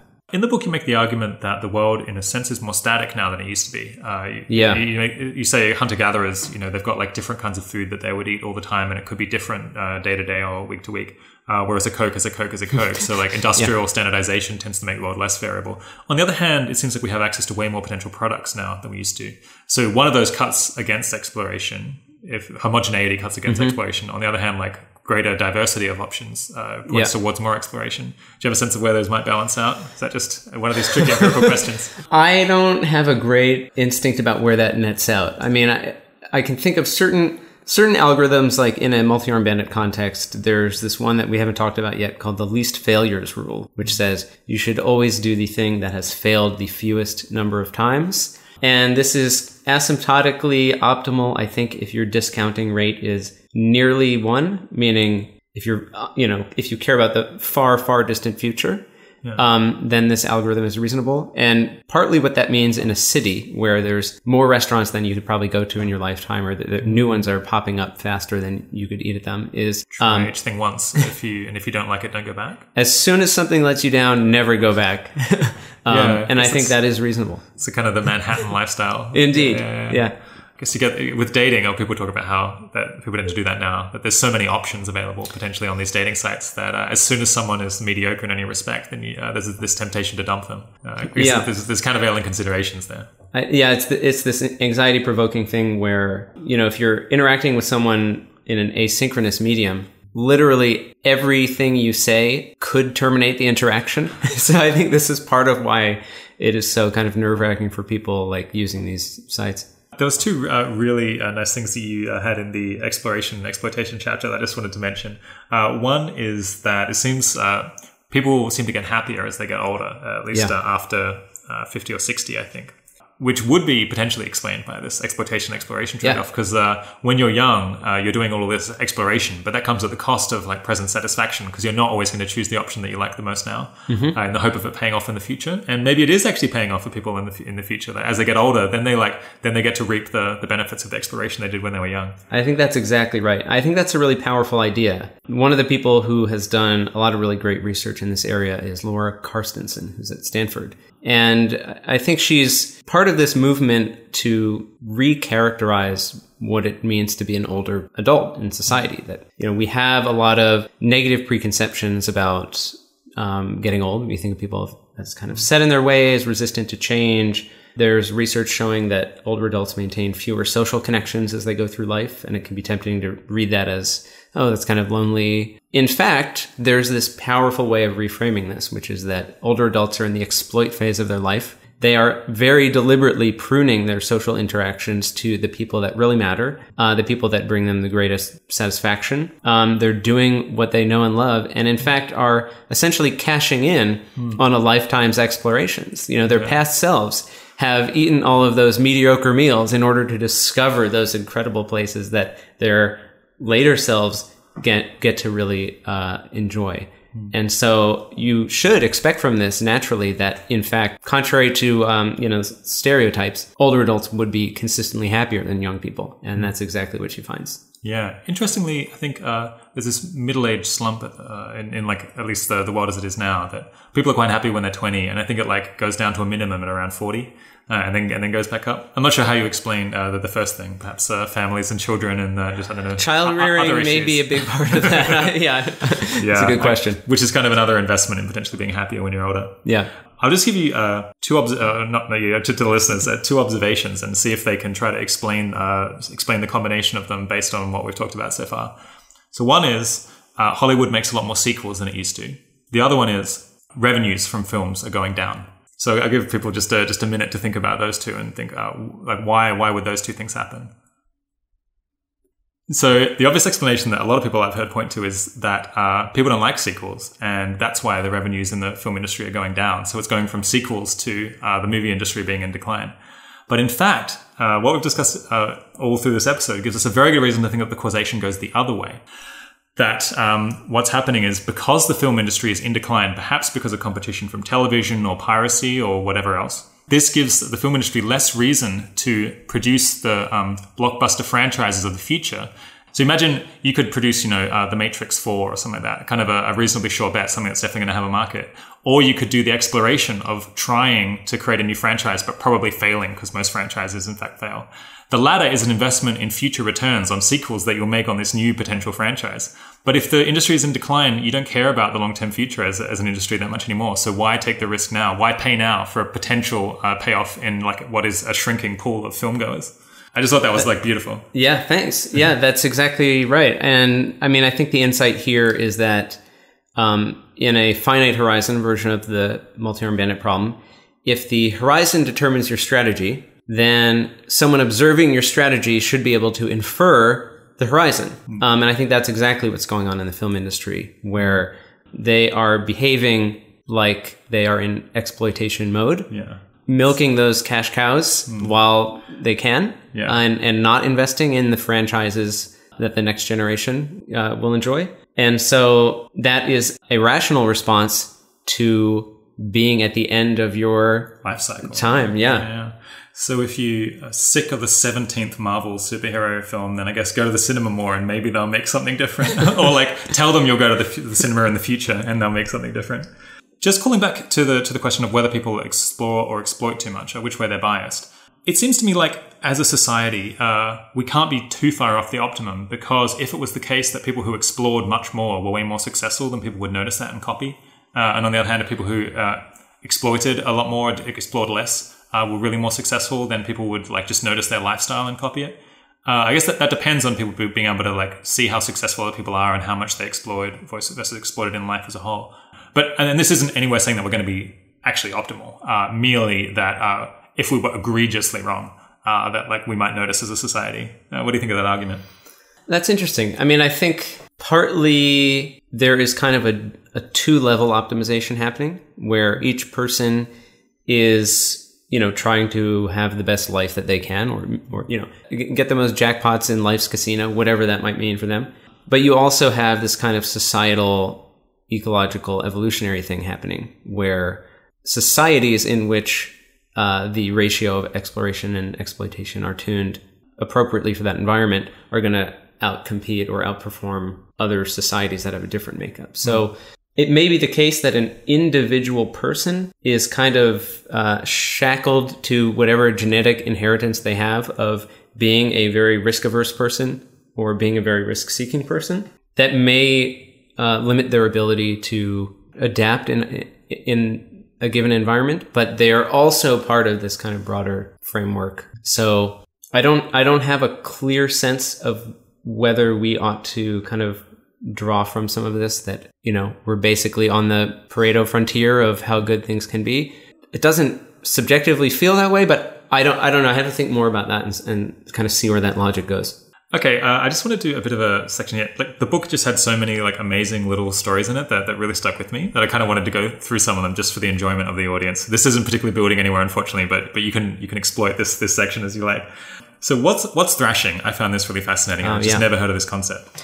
Right. So thrashing is an idea that comes up in the context of computer scheduling, and in particular, it emerged during I want to say the 1960s uh, as they were developing kind of multi-user machines. So this idea that you have uh, different processes or different users on a given piece of hardware, essentially competing for the resources of that hardware. And as you switch from a particular user or a particular process to another, you have to kind of reallocate the machine's resources. So effectively refill the RAM uh, with data relevant to the next task. And so there was this problem that people began noticing on these timeshare machines, which is that as you add more and more users or more and more tasks to the workload of a machine, uh, initially, it seems like everything's fine. You know, you can accommodate uh, two or three processes in parallel, and everyone's basically getting what they need. But beyond a certain point, it wasn't as if the performance degraded linearly. It was that you'd hit some threshold and then just spectacularly collapse the performance of the system. Um, and so this was really interesting to people at the time. No one really knew what was going on. Um, and it was really a researcher named Peter Denning who was able to diagnose this problem, and he coins this term thrashing so the basic idea in thrashing is that imagine your system is dividing its time in just sort of a round robin fashion between, you know, five different tasks, let's say. And at the beginning of that slice of time, it begins filling its RAM with data relevant to this new task. It's essentially kind of setting up its workspace, if you want to think about it that way.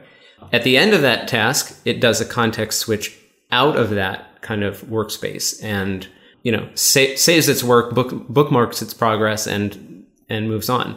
Well, if you get to a point where the time slice that you've allocated to that particular process is just long enough to do that bookkeeping, then you can get into a position where the computer is doing basically 0% actual work. Mm. It is just context switching into the next task and then immediately context switching out. And so this is one of the most frequent culprits for the spinning beach ball of doom uh, that that Mac users will be familiar with, um, or the or the Windows equivalent. That suddenly it's like you know you have 67 browser tabs open, everything's fine. You open a 68th browser tab, and then your whole system appears to lock up, and it takes you know 60 seconds to even close them back down again. So that is usually a telltale sign of thrashing. And part of why I got so interested in thrashing was that it just felt like I could recognize some of my own, you know,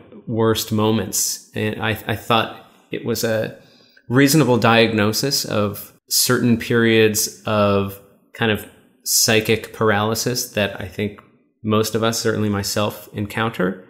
Where if you have so much to do that you're spending all of your time reminding yourself what to do or prioritizing what to do or beginning something but then being reminded of something else and then starting that, um, you could find yourself in a position where you're effectively spending your entire time budget on this kind of meta work. Just switching attention and like trying to figure out what you should be paying attention to. Yeah. And then never actually doing anything having done that. Yeah, exactly. And, and uh, I think one solution to this is just to do something from the list uh, and let the other things hang and don't think any more about prioritization. Just do it and then then move on to the second thing.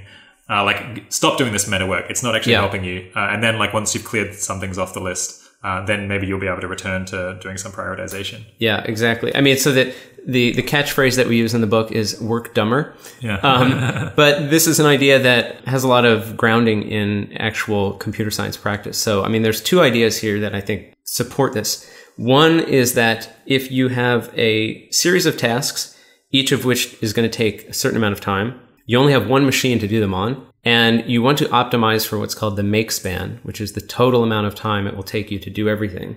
Well, it just so happens that the order doesn't matter at all because mm-hmm. you simply have a certain finite amount of work, a certain amount of time. And so if you find yourself in a position where you're optimizing for the make span, so your goal is to reduce the total amount of time you spend working and you can't delegate, it's just you going to do the work and it's all more or less equally important, then the worst thing you can do is spend any time thinking about the prioritization. You should just begin Total waste. randomly. Yeah, it's a total waste of your your energy. And we there's an anecdote in the book that we tell about the Linux operating system. Every operating system has what's called a scheduler, which performs, you know, exactly this function for the CPU of how many microseconds to be working on this particular thread, when to switch, what to switch to, how to stack rank the different priorities that the system has, and how much time to give each of them. And in a sense, you can think of the this kind of meta process of doing the sorting and the prioritization as directly competing hmm.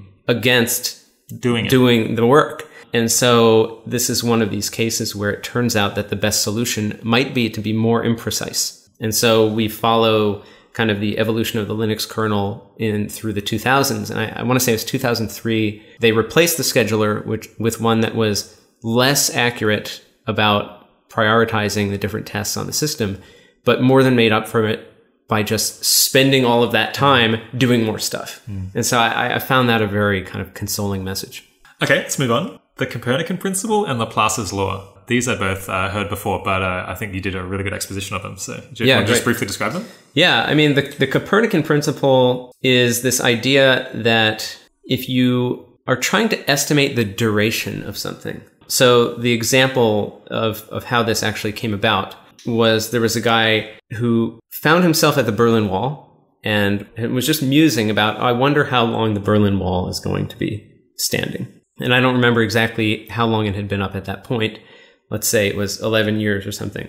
He starts thinking about it and he says, Well, on average, I should expect that I've shown up smack in the middle of the duration of this phenomenon. And so I should just double the amount of time and assume it's going to last for 11 more years. And it's this very intuitive idea, but it turns out that this has full kind of mathematical legitimacy of this is the appropriate um, Bayesian prediction that you should make if you have what is called an uninformative prior, where not only do you not know how long something is going to last, but you don't even know the scale. Um, it could be equally likely to last for milliseconds as millennia. That you have one of these what are called scale-free priors. If you crunch the numbers, you get exactly this prediction that if you just happen upon something, you should assume that it's going to last exactly as long as it's lasted already, which I think is a really, really nice rule of thumb. And it's kind of nicely validated by the math.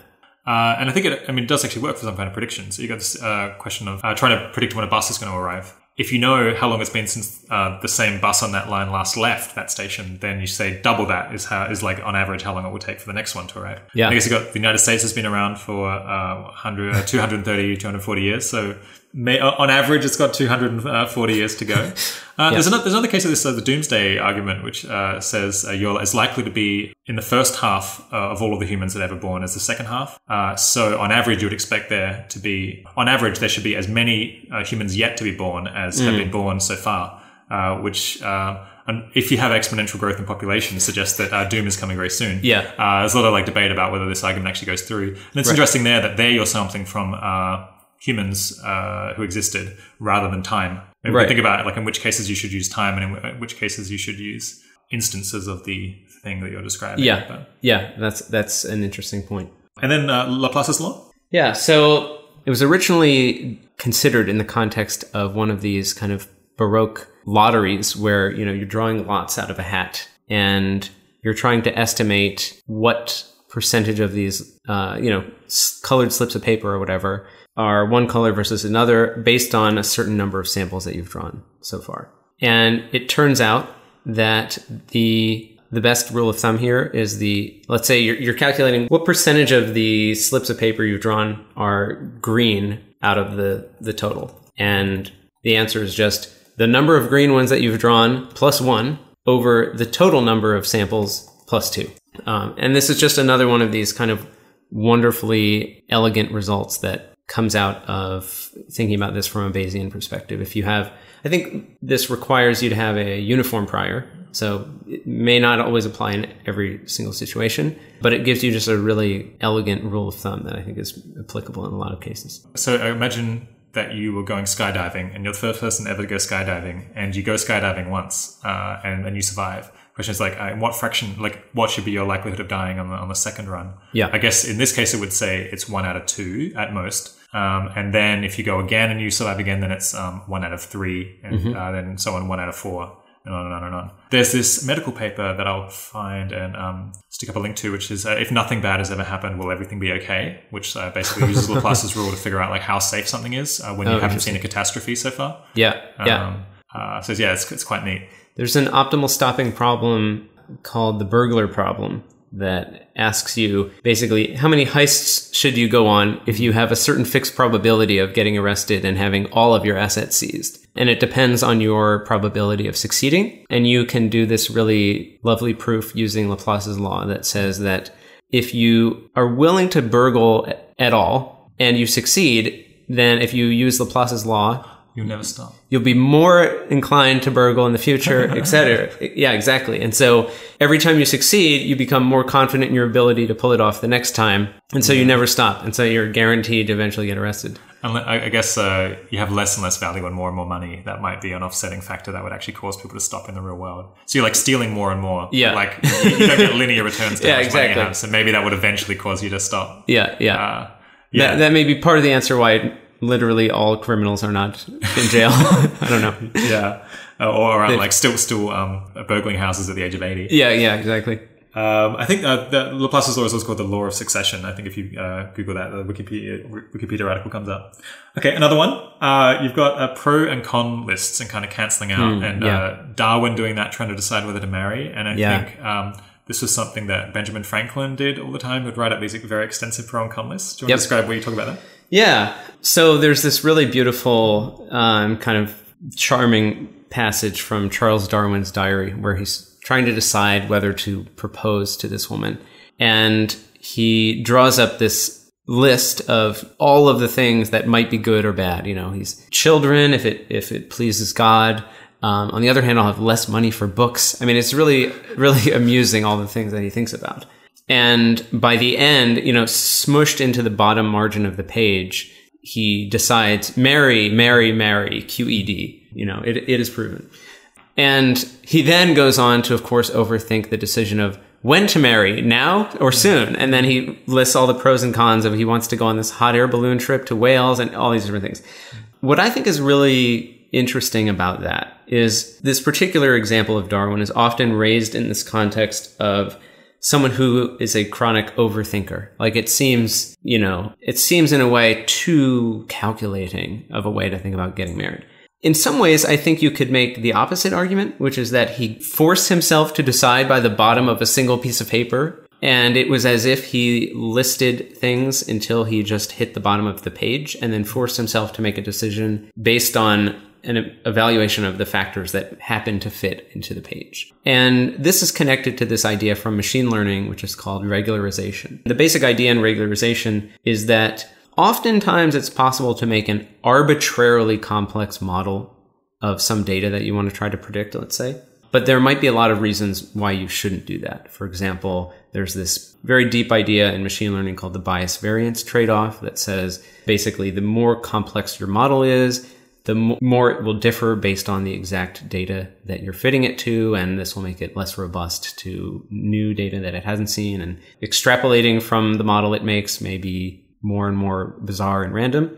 So there are a lot of reasons to want to inhibit the complexity of a model, even if it's the case that a more complicated model appears to offer a better fit for the data that you have. It fits what you've already seen, but it won't fit the future. Exactly. Because it's fitting it's fitting itself to idiosyncratic factors about what you've seen so far, not not the under, fundamental underlying process that generated what you saw. Yeah, that's exactly right. And so there has been this entire development of methods for regularization, L1, L2, etc um, that you know some of your listeners w- will be familiar with um, that basically act as kind of a downward pressure on the number of variables or the number of parameters that your model has. And so I think it's interesting on the one hand to just make this argument for simplicity that I think intuitively we have this idea that you know making a better decision almost necessarily means taking more information into account, uh, thinking longer, gathering more data, considering more factors. That's not necessarily the story that you get by thinking about this from the perspective of machine learning. There are, I think, powerful arguments for simpler models um, being more robust in, in a lot of different ways. Yeah. I kind of quite like pro and con lists in a way, or just like yeah, trying to think of like a, good number of uh, positive things and negative things about about a choice. Uh, and you're saying kind of you need to cut that off at some point because otherwise you just end up uh, thinking about things like unimportant things that you care about right now, but like won't seem that important in the future, something like that. Maybe just, uh, I think maybe an even bigger problem with really extensive pro and con lists is that there's this uh, strong temptation uh, to uh, decide based on which uh, side of the ledger has more factors on it, uh, which is obviously yeah, yeah, incredibly yeah. stupid. And like no one would think that they're deciding on that basis, but they could kind of do it by accident. The other thing is if you have very long lists of pros and cons, uh, it's hard to divide your attention to each of those uh, in, in, accordance with their importance. And so, uh, if, yeah, if you have a, a, long list of factors where like the, the top one is should be given the hundredth the weight of the bottom one, uh, then you're not actually going to spend a hundred as hundred hundred times as uh, much time thinking about it, and like it's very hard to just give it uh, that much significance.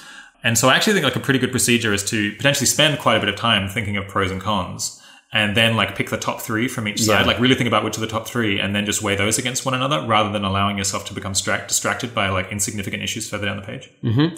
Yeah, I mean, I think this is exactly the counter narrative that you can apply to the Darwin case, and you can say he was regularizing himself to the page. You know, he he would only consider the number of factors that could fit onto a page of loose leaf paper. Yeah. Um, or, or his diary notebook paper. And, uh, you know, I occasionally use this in my own life where I will think about something until, you know, I've completely run dry of things that I can say about one side or the other.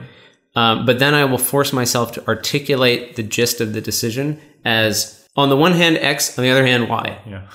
Um, and now, granted, that's that's a fairly artificial way to go about it. You know, if Y is half as important as X, but you know Y prime also exists and is equally important, then you could get a decision that's sort of faulty. But I think this method of kind of aggressively constricting the complexity of your decision making process, there's this, I think, a, a story that you can tell that really makes this argument that robust decision making, especially in the face of great uncertainty, really should be as simple as possible. There's this interesting ambiguity where it's not clear whether you should spend more time contemplating a decision in an environment uh, where evidence is very clear and crisp versus whether it, where it's vague and hard to say how much weight to give to it. There's kind of an elasticity there, uh, thinking as an economist, because there's kind of there's two different considerations. On the one hand, uh, where the evidence is very clear, like um, you can tell how strong an argument is, that means that kind of you got more value from finding out that argument because you know how good it is. On the other hand, you might actually just end up solving the problem fairly quickly. You, you come up to a good answer fairly fast. On the other hand, with a question where it's like really hard to tell how strong the arguments are, it's like very like hard to predict the future, those kind of long term things, or just like you don't understand the lay of the land very well. On the one hand, uh, the arguments you're coming up with just like aren't terribly persuasive. On the other hand, you really don't know what to do because uh, Yeah. the question is so much harder, and you're never going to be super confident.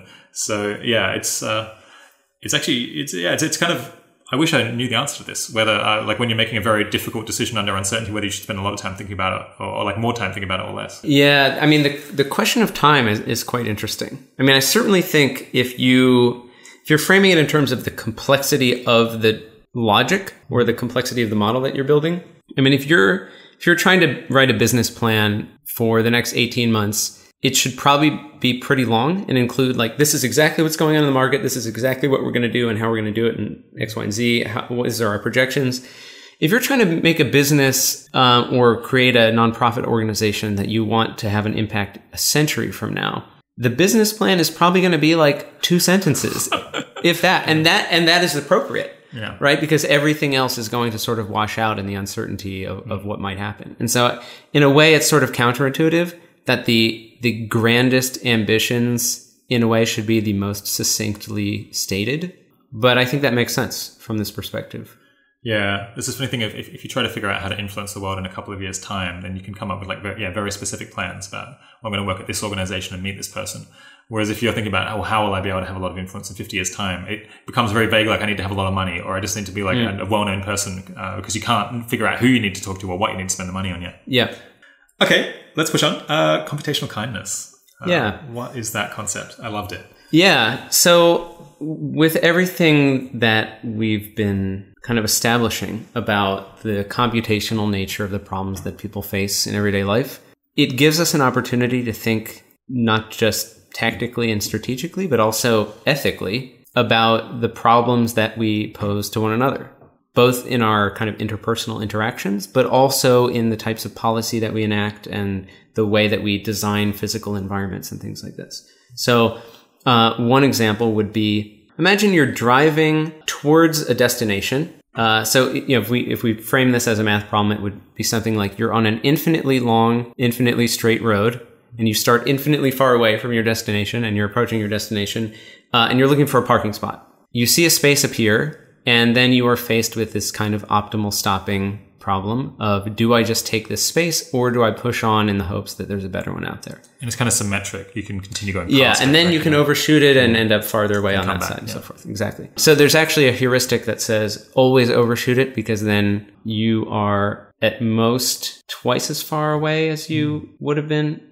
more than 50% of the time you should ever shoot. Right. And and so part of what's interesting about this is that the strategy of approaching the destination requires this analysis of what is the percentage of the spots that are occupied.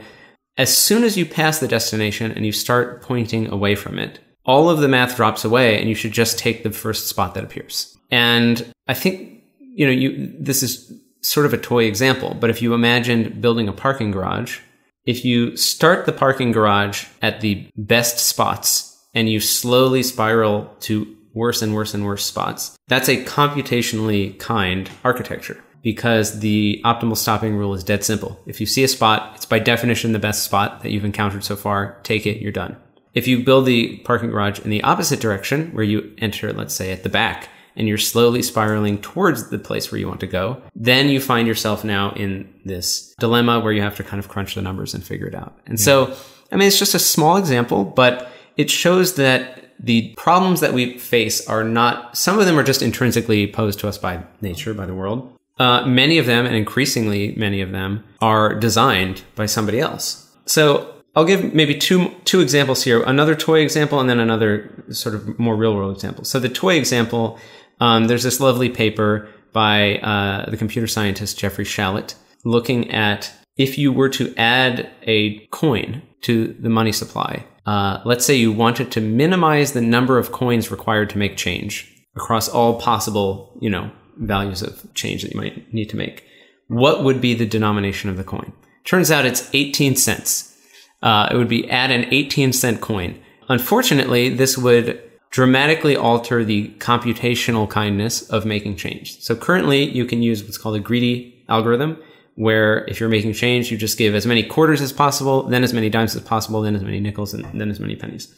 If there was an 18 cent piece and you needed to give someone 36 cents, you wouldn't just start with the quarter, then the dime. You would have to realize, oh, this is two 18 cent coins. Mm. So change making would cease having this greedy algorithm. Can you still follow the process of giving the biggest coin that doesn't take you over and then the next largest coin until is that still no you can't no, you no can't. and, and so, that's so it becomes right? like a knapsack problem exactly exactly oh, right exactly interesting right. and why doesn't that happen when it's all like uh, you know divisible by 10 or 5 or 1 as long as everything is kind of mutually divisible, then oh, there's never a situation where gotcha. some combination of smaller things is better. So then you can ask the question, well, what denomination coin, if added to the money supply, would minimize the this expected number of coins per transaction, subject to the condition that change making still has this nice greedy algorithm. And it turns out the answer is a two cent coin, uh, which makes a lot of sense. And so more broadly, I think there are a lot of situations where we can adjust the way that problems are framed in what I would consider this computationally kind or ethical framework that tries to minimize the, the cognitive burden on the other person. So for, you know, a real world example of this, if you are buying a house, typically the way that buying a house works is what's called a first price auction. Um, so sealed bid first price auction. So you try to estimate how many other bidders you think there might be, and perhaps you don't even know. So you try to gather information that suggests how many other bidders there might be. And then you make a single bid and your objective is to win, but you want to win at the lowest possible price. And so, you know, we can give you the math. There's, there's all this game theory of what is the best bid to make relative to your, you know, private evaluation of the, the worth of that asset it also factors in how many other competitors are, you know, also trying to get it.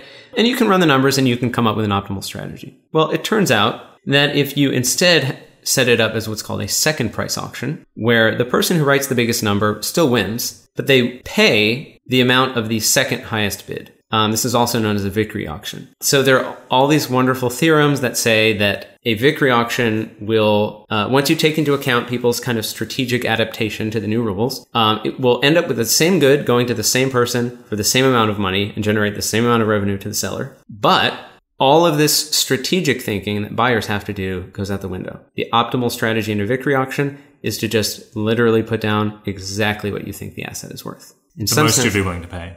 Exactly. Yeah. Exactly. In some ways, it is as if the rules of the game are optimizing for you. Yeah. There's no further optimization to be done by thinking strategically. I guess I, assume that houses usually aren't auctioned this way because they think they can manipulate people and get them to behave irrationally and bid more than they should. Uh, like if they were fully being strategic in this way and, and downgrading from what they think it's worth to what other people think it's worth. Yeah. So, I mean, there are a number of theorems that show what's called revenue equivalence. Mm. Um, there may be specific reasons that the housing market violates the assumptions that those theorems are based on. But you do see, for example, Google's ad auction was um, famously set up as a Vickrey auction in part because they figured the computational kindness to their clients or the people, you know, the people placing those ads would, in the long run, make it easier to place ads and easier to you know sort of maintain a long standing relationship with Google yeah. and that they would come out ahead. Well, people are running so many ads that they and they don't know the market, they can't see it, so it'd be so confusing as an advertiser to on every ad have to set like what is my yeah. maximum bid for an impression? Right, and, right, exactly. Yeah, uh, so, so that one that one's really nice. And auction theory in general, people should check that out. Another example of computational kindness that really resonates with me is if you're trying to schedule with someone, uh, rather than say, "Oh, I'm free anytime in the next month," like, "What time would you like to meet?" But you, we've all received an email like that, right? And you're yeah. like, ah, I don't want to look at like my calendar and try to figure out yep. the optimal time to meet in the next mm-hmm. month. So I'm just going to like answer this email later. It's like a bunch of work. Yeah. Uh, whereas if someone says, "Are you free 2 p.m. on Tuesday?" you're like, "Well, I can definitely check that very easily." Yes. Uh, you're not you're not demanding anything of them to like figure out when they want to meet. Yeah. Uh, so oddly enough, being like very specific uh, and like limiting their options, in fact, is like it requires less computation in their head and they're much more likely to respond to you. So I never email anyone suggesting, uh, let's talk or let's meet without giving a very specific time. Yeah. I, yeah, I think that's right. I mean, Tom and I experienced this firsthand in the process of researching the book. You know, we did, I think, something like 100 different interviews with various computer scientists and so forth. Um, and we found empirically that if we said, "Are you free at 10:30 next Tuesday?" we got a higher response rate than if we said, "Are you free in the next Anytime. three weeks?" right? Will you ever be free? What's Yeah. the easiest question to answer, but not useful. Yeah, exactly. So just it just so happens that framing the problem in a way that's easier to understand is better than giving the person the option. Okay, so so this one's not actually uh, in the book, but you were you were talking about it uh, earlier. Corrupted back channeling. Right. So this is an idea that comes out of networking. So one of the issues in TCP/IP is how do you create a robust communication channel over an unreliable medium? And so one of the ways that you do this is by having what are called acknowledgments or ACKs for short. So whenever you send an HTTP packet, uh, you get what's called an ACK packet back. And this turns out to be this critical aspect of the functioning of the internet that I think people don't quite appreciate. So, for example, your maximum download speed is dependent on your upload speed and on your upload latency because the person who's sending you that file requires you to be going, uh huh, uh huh, uh huh, uh huh, uh, in order to send at the maximum bandwidth. And so you sometimes get these paradoxical situations where the user experiences what they perceive to be a download problem, but it, the symptom is actually something's clogged in the upload uh, upstream direction. So in the book, we talk about this uh, issue that's called buffer bloat, which is has exactly this property.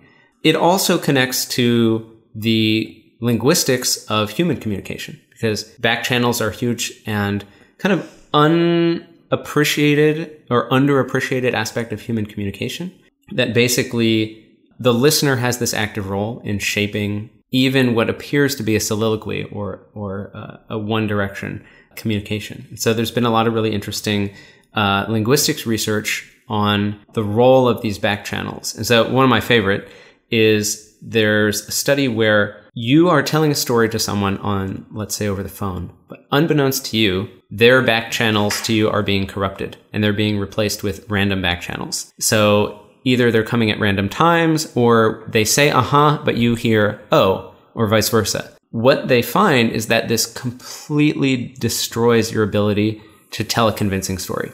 And the message here is really there is this unsung role of the upstream direction, these back channels that's present not only in our computer networks, but also interpersonally. So I guess uh, the problem is you're using this back channeling to figure out whether to whether to give more detail or less detail, and whether to speed up or slow down, and and to like yeah build up a model of how much the other person knows and what they know about. But if it's just all random, then you just end up with this incredibly confusing person who like wants you to suddenly go fast then slow, like even though it should be the other way around, and they, they, they seem to know about something and they don't understand it. Exactly. So yeah, you find that, you know, a storyteller, for example, will, you know, painfully repeat a section of the story as if you didn't get it, but then this makes the story much worse and so forth. Um, you know, they're trying to build a model of what you do and don't appear to know, but that model doesn't make sense. So the evidence that they're getting uh, just doesn't paint some consistent picture. So then they're working overtime trying to understand you. And I think, you know, part of what I think is just kind of an interesting parallel is that, you know, from kind of the late 1970s through the last decade, you have this parallel discovery of the importance of the back channel, both in networking and also interpersonally. And those stories kind of complement and inform one another. Okay, let's talk now a little bit about your career as a writer and whether whether listeners should potentially become writers as well. Yeah, are you are you glad you became a writer? Uh, what, what, what would you advise people in general? It's uh, known to be like a fairly difficult thing to break into. Uh, Yeah. fa- fairly competitive. Yes, I mean, I guess for one thing, I should bracket everything that I say with you know survivorship bias. Uh, Yeah. The fact that you're asking me indicates I shouldn't listen. that yeah indicates I'm I'm not from the you know median of the distribution or whatever. So with that having been said, I mean, I for me it's it's a really satisfying profession, and it's something that I certainly would, on the one hand, recommend to anyone who wanted to get involved. I'm reminded of Robin Williams, I believe it was, used to say that if anyone ever asked him whether they should become a comedian, he would say no. The reason being, it was a really hard life with a low probability of success. And if the person had any doubt, then he really should turn them away. And if they had no doubt, then his telling them not to enter the profession would have no effect. And so I, I, I'm tempted to just give the Robin Williams answer and leave it at that. But I, but I also think that, you know, for me, following this kind of upper confidence bound strategy of taking a swing at it is something that I certainly don't regret. And in particular, I guess the one thing that I often tell writers is there's a sense in which realistic aspirations are almost just as difficult as unrealistic aspirations. I mean, this is an idea that, for example, Tim Ferriss has talked about that often people self select and don't try the outrageous, ambitious things. And because no one's trying it, it's not as hard as you think. Everyone is competitive. Exactly. Everyone is clamoring for the realistic thing. So I experienced this as an undergraduate in a very explicit way, which was um, at Brown University, there was this introduction to writing course, the, the intro level writing workshop. And it was so over enrolled that they just had a random lottery, and that's who got in. And so people would spend their entire undergraduate years trying to get into this intro class. The intermediate level workshops required a portfolio. You had to submit, you know, a, a selection of your work. And I, as an incoming freshman, like pretty much everybody, assumed that my work was nowhere near good enough to qualify me for that. But I had a peer advisor who was an upperclassman, and she said, Look, I'm going to let you in a secret. Everybody thinks they're underqualified. And so fewer people apply than the number of spots they have, and Everyone everyone, gets gets in. And so I, I really felt like I was able to, you know, just kind of jump the turnstiles. I went straight into intermediate, uh, the intermediate workshop, and uh, it kind of went from there. And more importantly, I feel like that gave me kind of a principle that I find useful in a lot of situations. I mean, the same thing happened to me. Um, I went to graduate school for creative writing. I graduated with my MFA at the bottom of the recession, which is not an ideal time to be minted with a terminal degree in creative writing. um, and, you know, I was trying to figure out what to do. And at the same time where I had work getting turned down from these kind of obscure online publications that were going to pay me, you know, $10 for an essay or something like this, I was able to succeed at getting a book contract with Doubleday. Um, and it felt to me very analogous to what I had experienced as an undergrad, where the competition for what were perceived to be the next logical steps was so fierce but no one was just going for it in a way. I mean, I, that, that's hyperbole, but Yeah. um, it was harder than I thought to climb the ladder and easier than I thought to, to just jump the queue. And, and so I think that's a, for me, I think that's advice that actually applies to almost any situation. Certainly I've, I've found it a few times in my writing career, but I encourage people to try to think about that. Also, if you apply uh, further up the ladder, um, there's kind of always a lot of randomness with these applications. So, like, even if they shouldn't give you the job, there's a chance that they will. Uh, Yeah. so you can like kind of ride that. yeah, that's right. yeah. Do you think you're in a good position to have a large social impact, or do you have to make a lot of compromises in what you write about? That's an interesting question. I think it's for me as a book author, it's a very different position from being kind of a day to day journalist where you're expected to produce some quote of stories every day, every week, every month, that kind of thing. Um, so I certainly experience great latitude in types of projects that I can take on and how long I can spend working on them. It's also the case that I think book writing relative to magazine writing, you have a lot more latitude at the sentence level because the draft that you're turning in is just too big for someone to micromanage your syntax on every single sentence. I've done very sparing amounts of magazine journalism over the years. I haven't done any of that in a long time, but when I have, I've bristled at the amount that my editors have sort of massaged the points that I was making across the individual piece. At the book length, you're just it's just too much for them to successfully do that. Um, To some extent, you can say what you like. yeah, and I, I I think that also has affected my the way that I read magazine articles versus books. When you're reading a magazine piece, there's a single person on the byline, but what has appeared in that piece has gone through a chain of editors, each of which has sort of put some kind of stamp on it. Um, when you're reading a book, it is coming much more unfiltered from the author themselves, and so for that reason, uh, you know, I'm, I'm sort of biased towards books as a medium, both as a writer and as a reader. You also don't have the experience of having some idiot come in at the last minute and give it an inaccurate title. Uh, I think it's a very common problem for journalists. I. I have experienced that. I have many horror stories about exactly that. And then later, people will interview you and ask you why you said X. and out of loyalty to the publication, you can't You just say say, that, well, so and so up the editorial chain said X. It's a devil's bargain. Sometimes they're like, "Oh, we'll publish your work, uh, but we'll have to we'll, we'll lie about what you said in the title to like get more clicks." Yeah. and it's like it's Yeah. kind of sickening in a way. But yeah, I guess it's a fierce media environment. Yeah. but anyway, you don't have to deal with this in books, uh, so that's that's fortunate.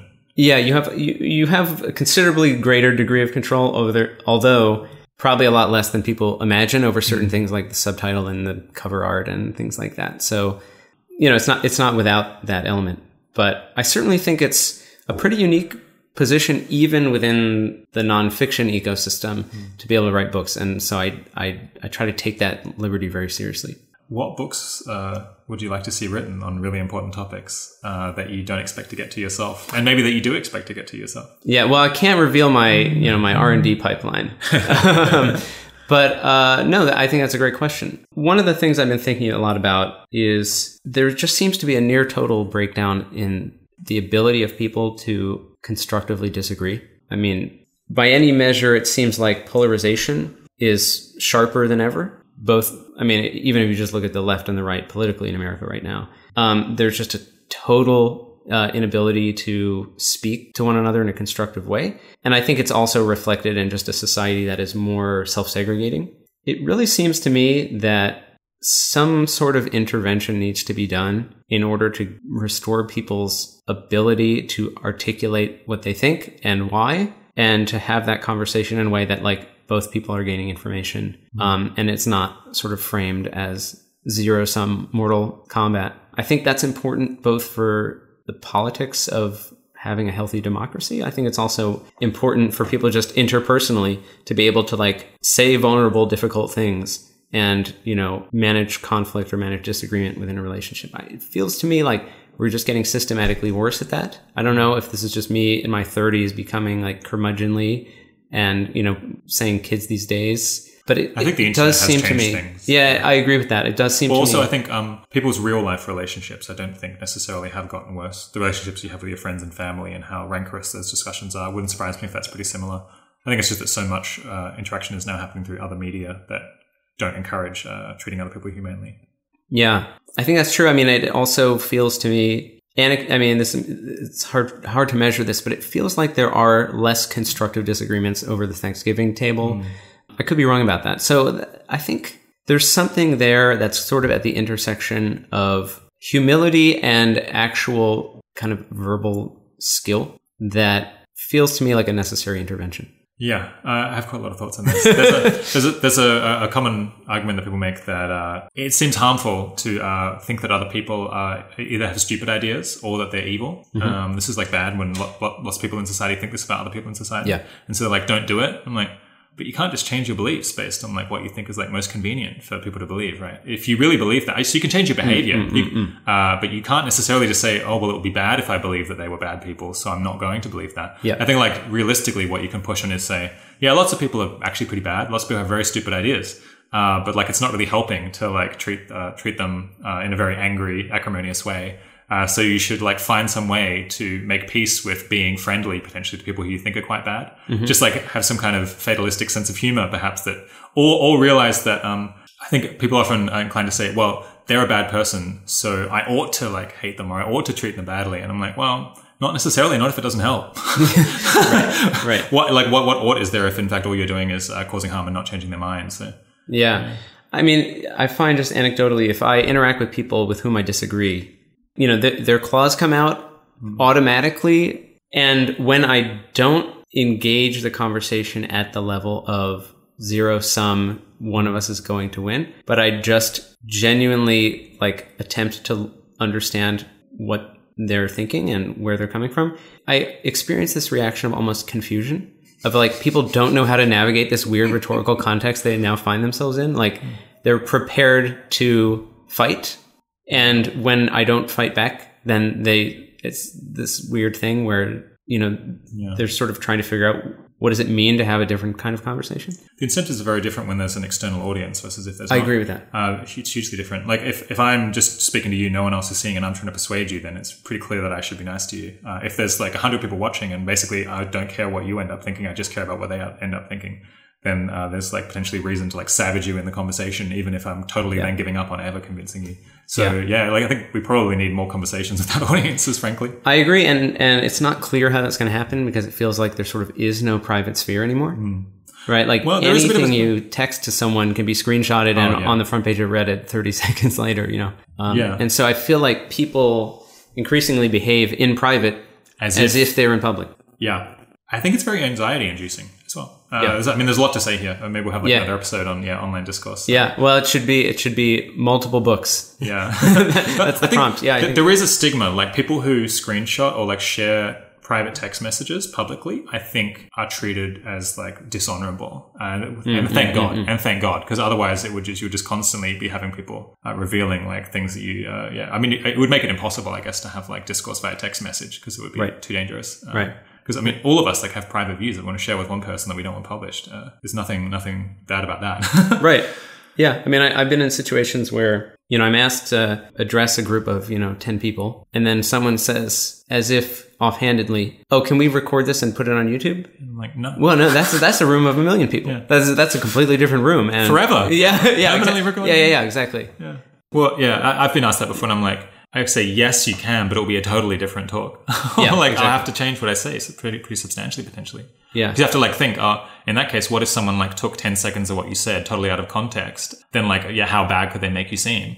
You have to then be like constantly on the defensive about like anything, like any individual sentence that you might say. There's a good reason not to record things. Yeah, no, I totally agree with that. Um, yeah, it's it's, it's as we say with a microphone in front of, in front of both of us. Yeah, indeed. Yeah, but I do think yeah we need to somehow try to reclaim that. So uh, it seems to me worth space. doing. All right. So to finish, um, you mentioned earlier that you're getting married in just a couple of weeks, and marriage is something that shows up in the algorithms book uh, Right. very regularly. Did you end up using any of the algorithms that you described to decide whether to get married and when? Yeah, um, my fiance tells this story, which I don't, I don't remember having said, but uh, I, I believe her when she says it. That uh, at some point after we were dating, I was researching the book. I was writing the optimal stopping chapter, and I mentioned to her, "Oh, you know, well, thirty-seven percent of the average American male lifespan is something like twenty-nine." And I'm 29, so you know if this works out, I'm all in.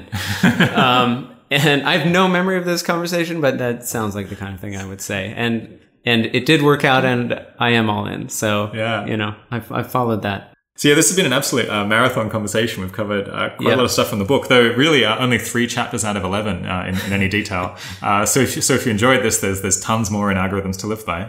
Um, there's also the most human human and and the book you're writing about uh, AI and uh, controlling it and where technology is going uh, coming out next year. So go out and buy these books. My guest today has been uh, Brian Christian. Thanks for coming on the Eighty Thousand Hours podcast, Brian. Thank you so much. It's been a pleasure. All right, just to finish, another quick reminder about the annual impact survey. If the show uh, or our coaching or any of the articles that we've put out over the last seven years that we've been at this have helped you have more social impact or changed your career or life in some other way, then please do head to 80000hours.org slash survey and take a few minutes to let me and the rest of the team know about it. We really couldn't exist without you telling us your stories. Also, did you know that we have a newsletter which you can use to stay on top of all of the research that we release, and also all of the new jobs that we recommend that people apply to on our job board? You can sign up for that at 80000hours.org slash newsletter and never miss a thing. The 80,000 Hours podcast is produced by Keiran Harris. Thanks for joining. Talk to you in a week or two.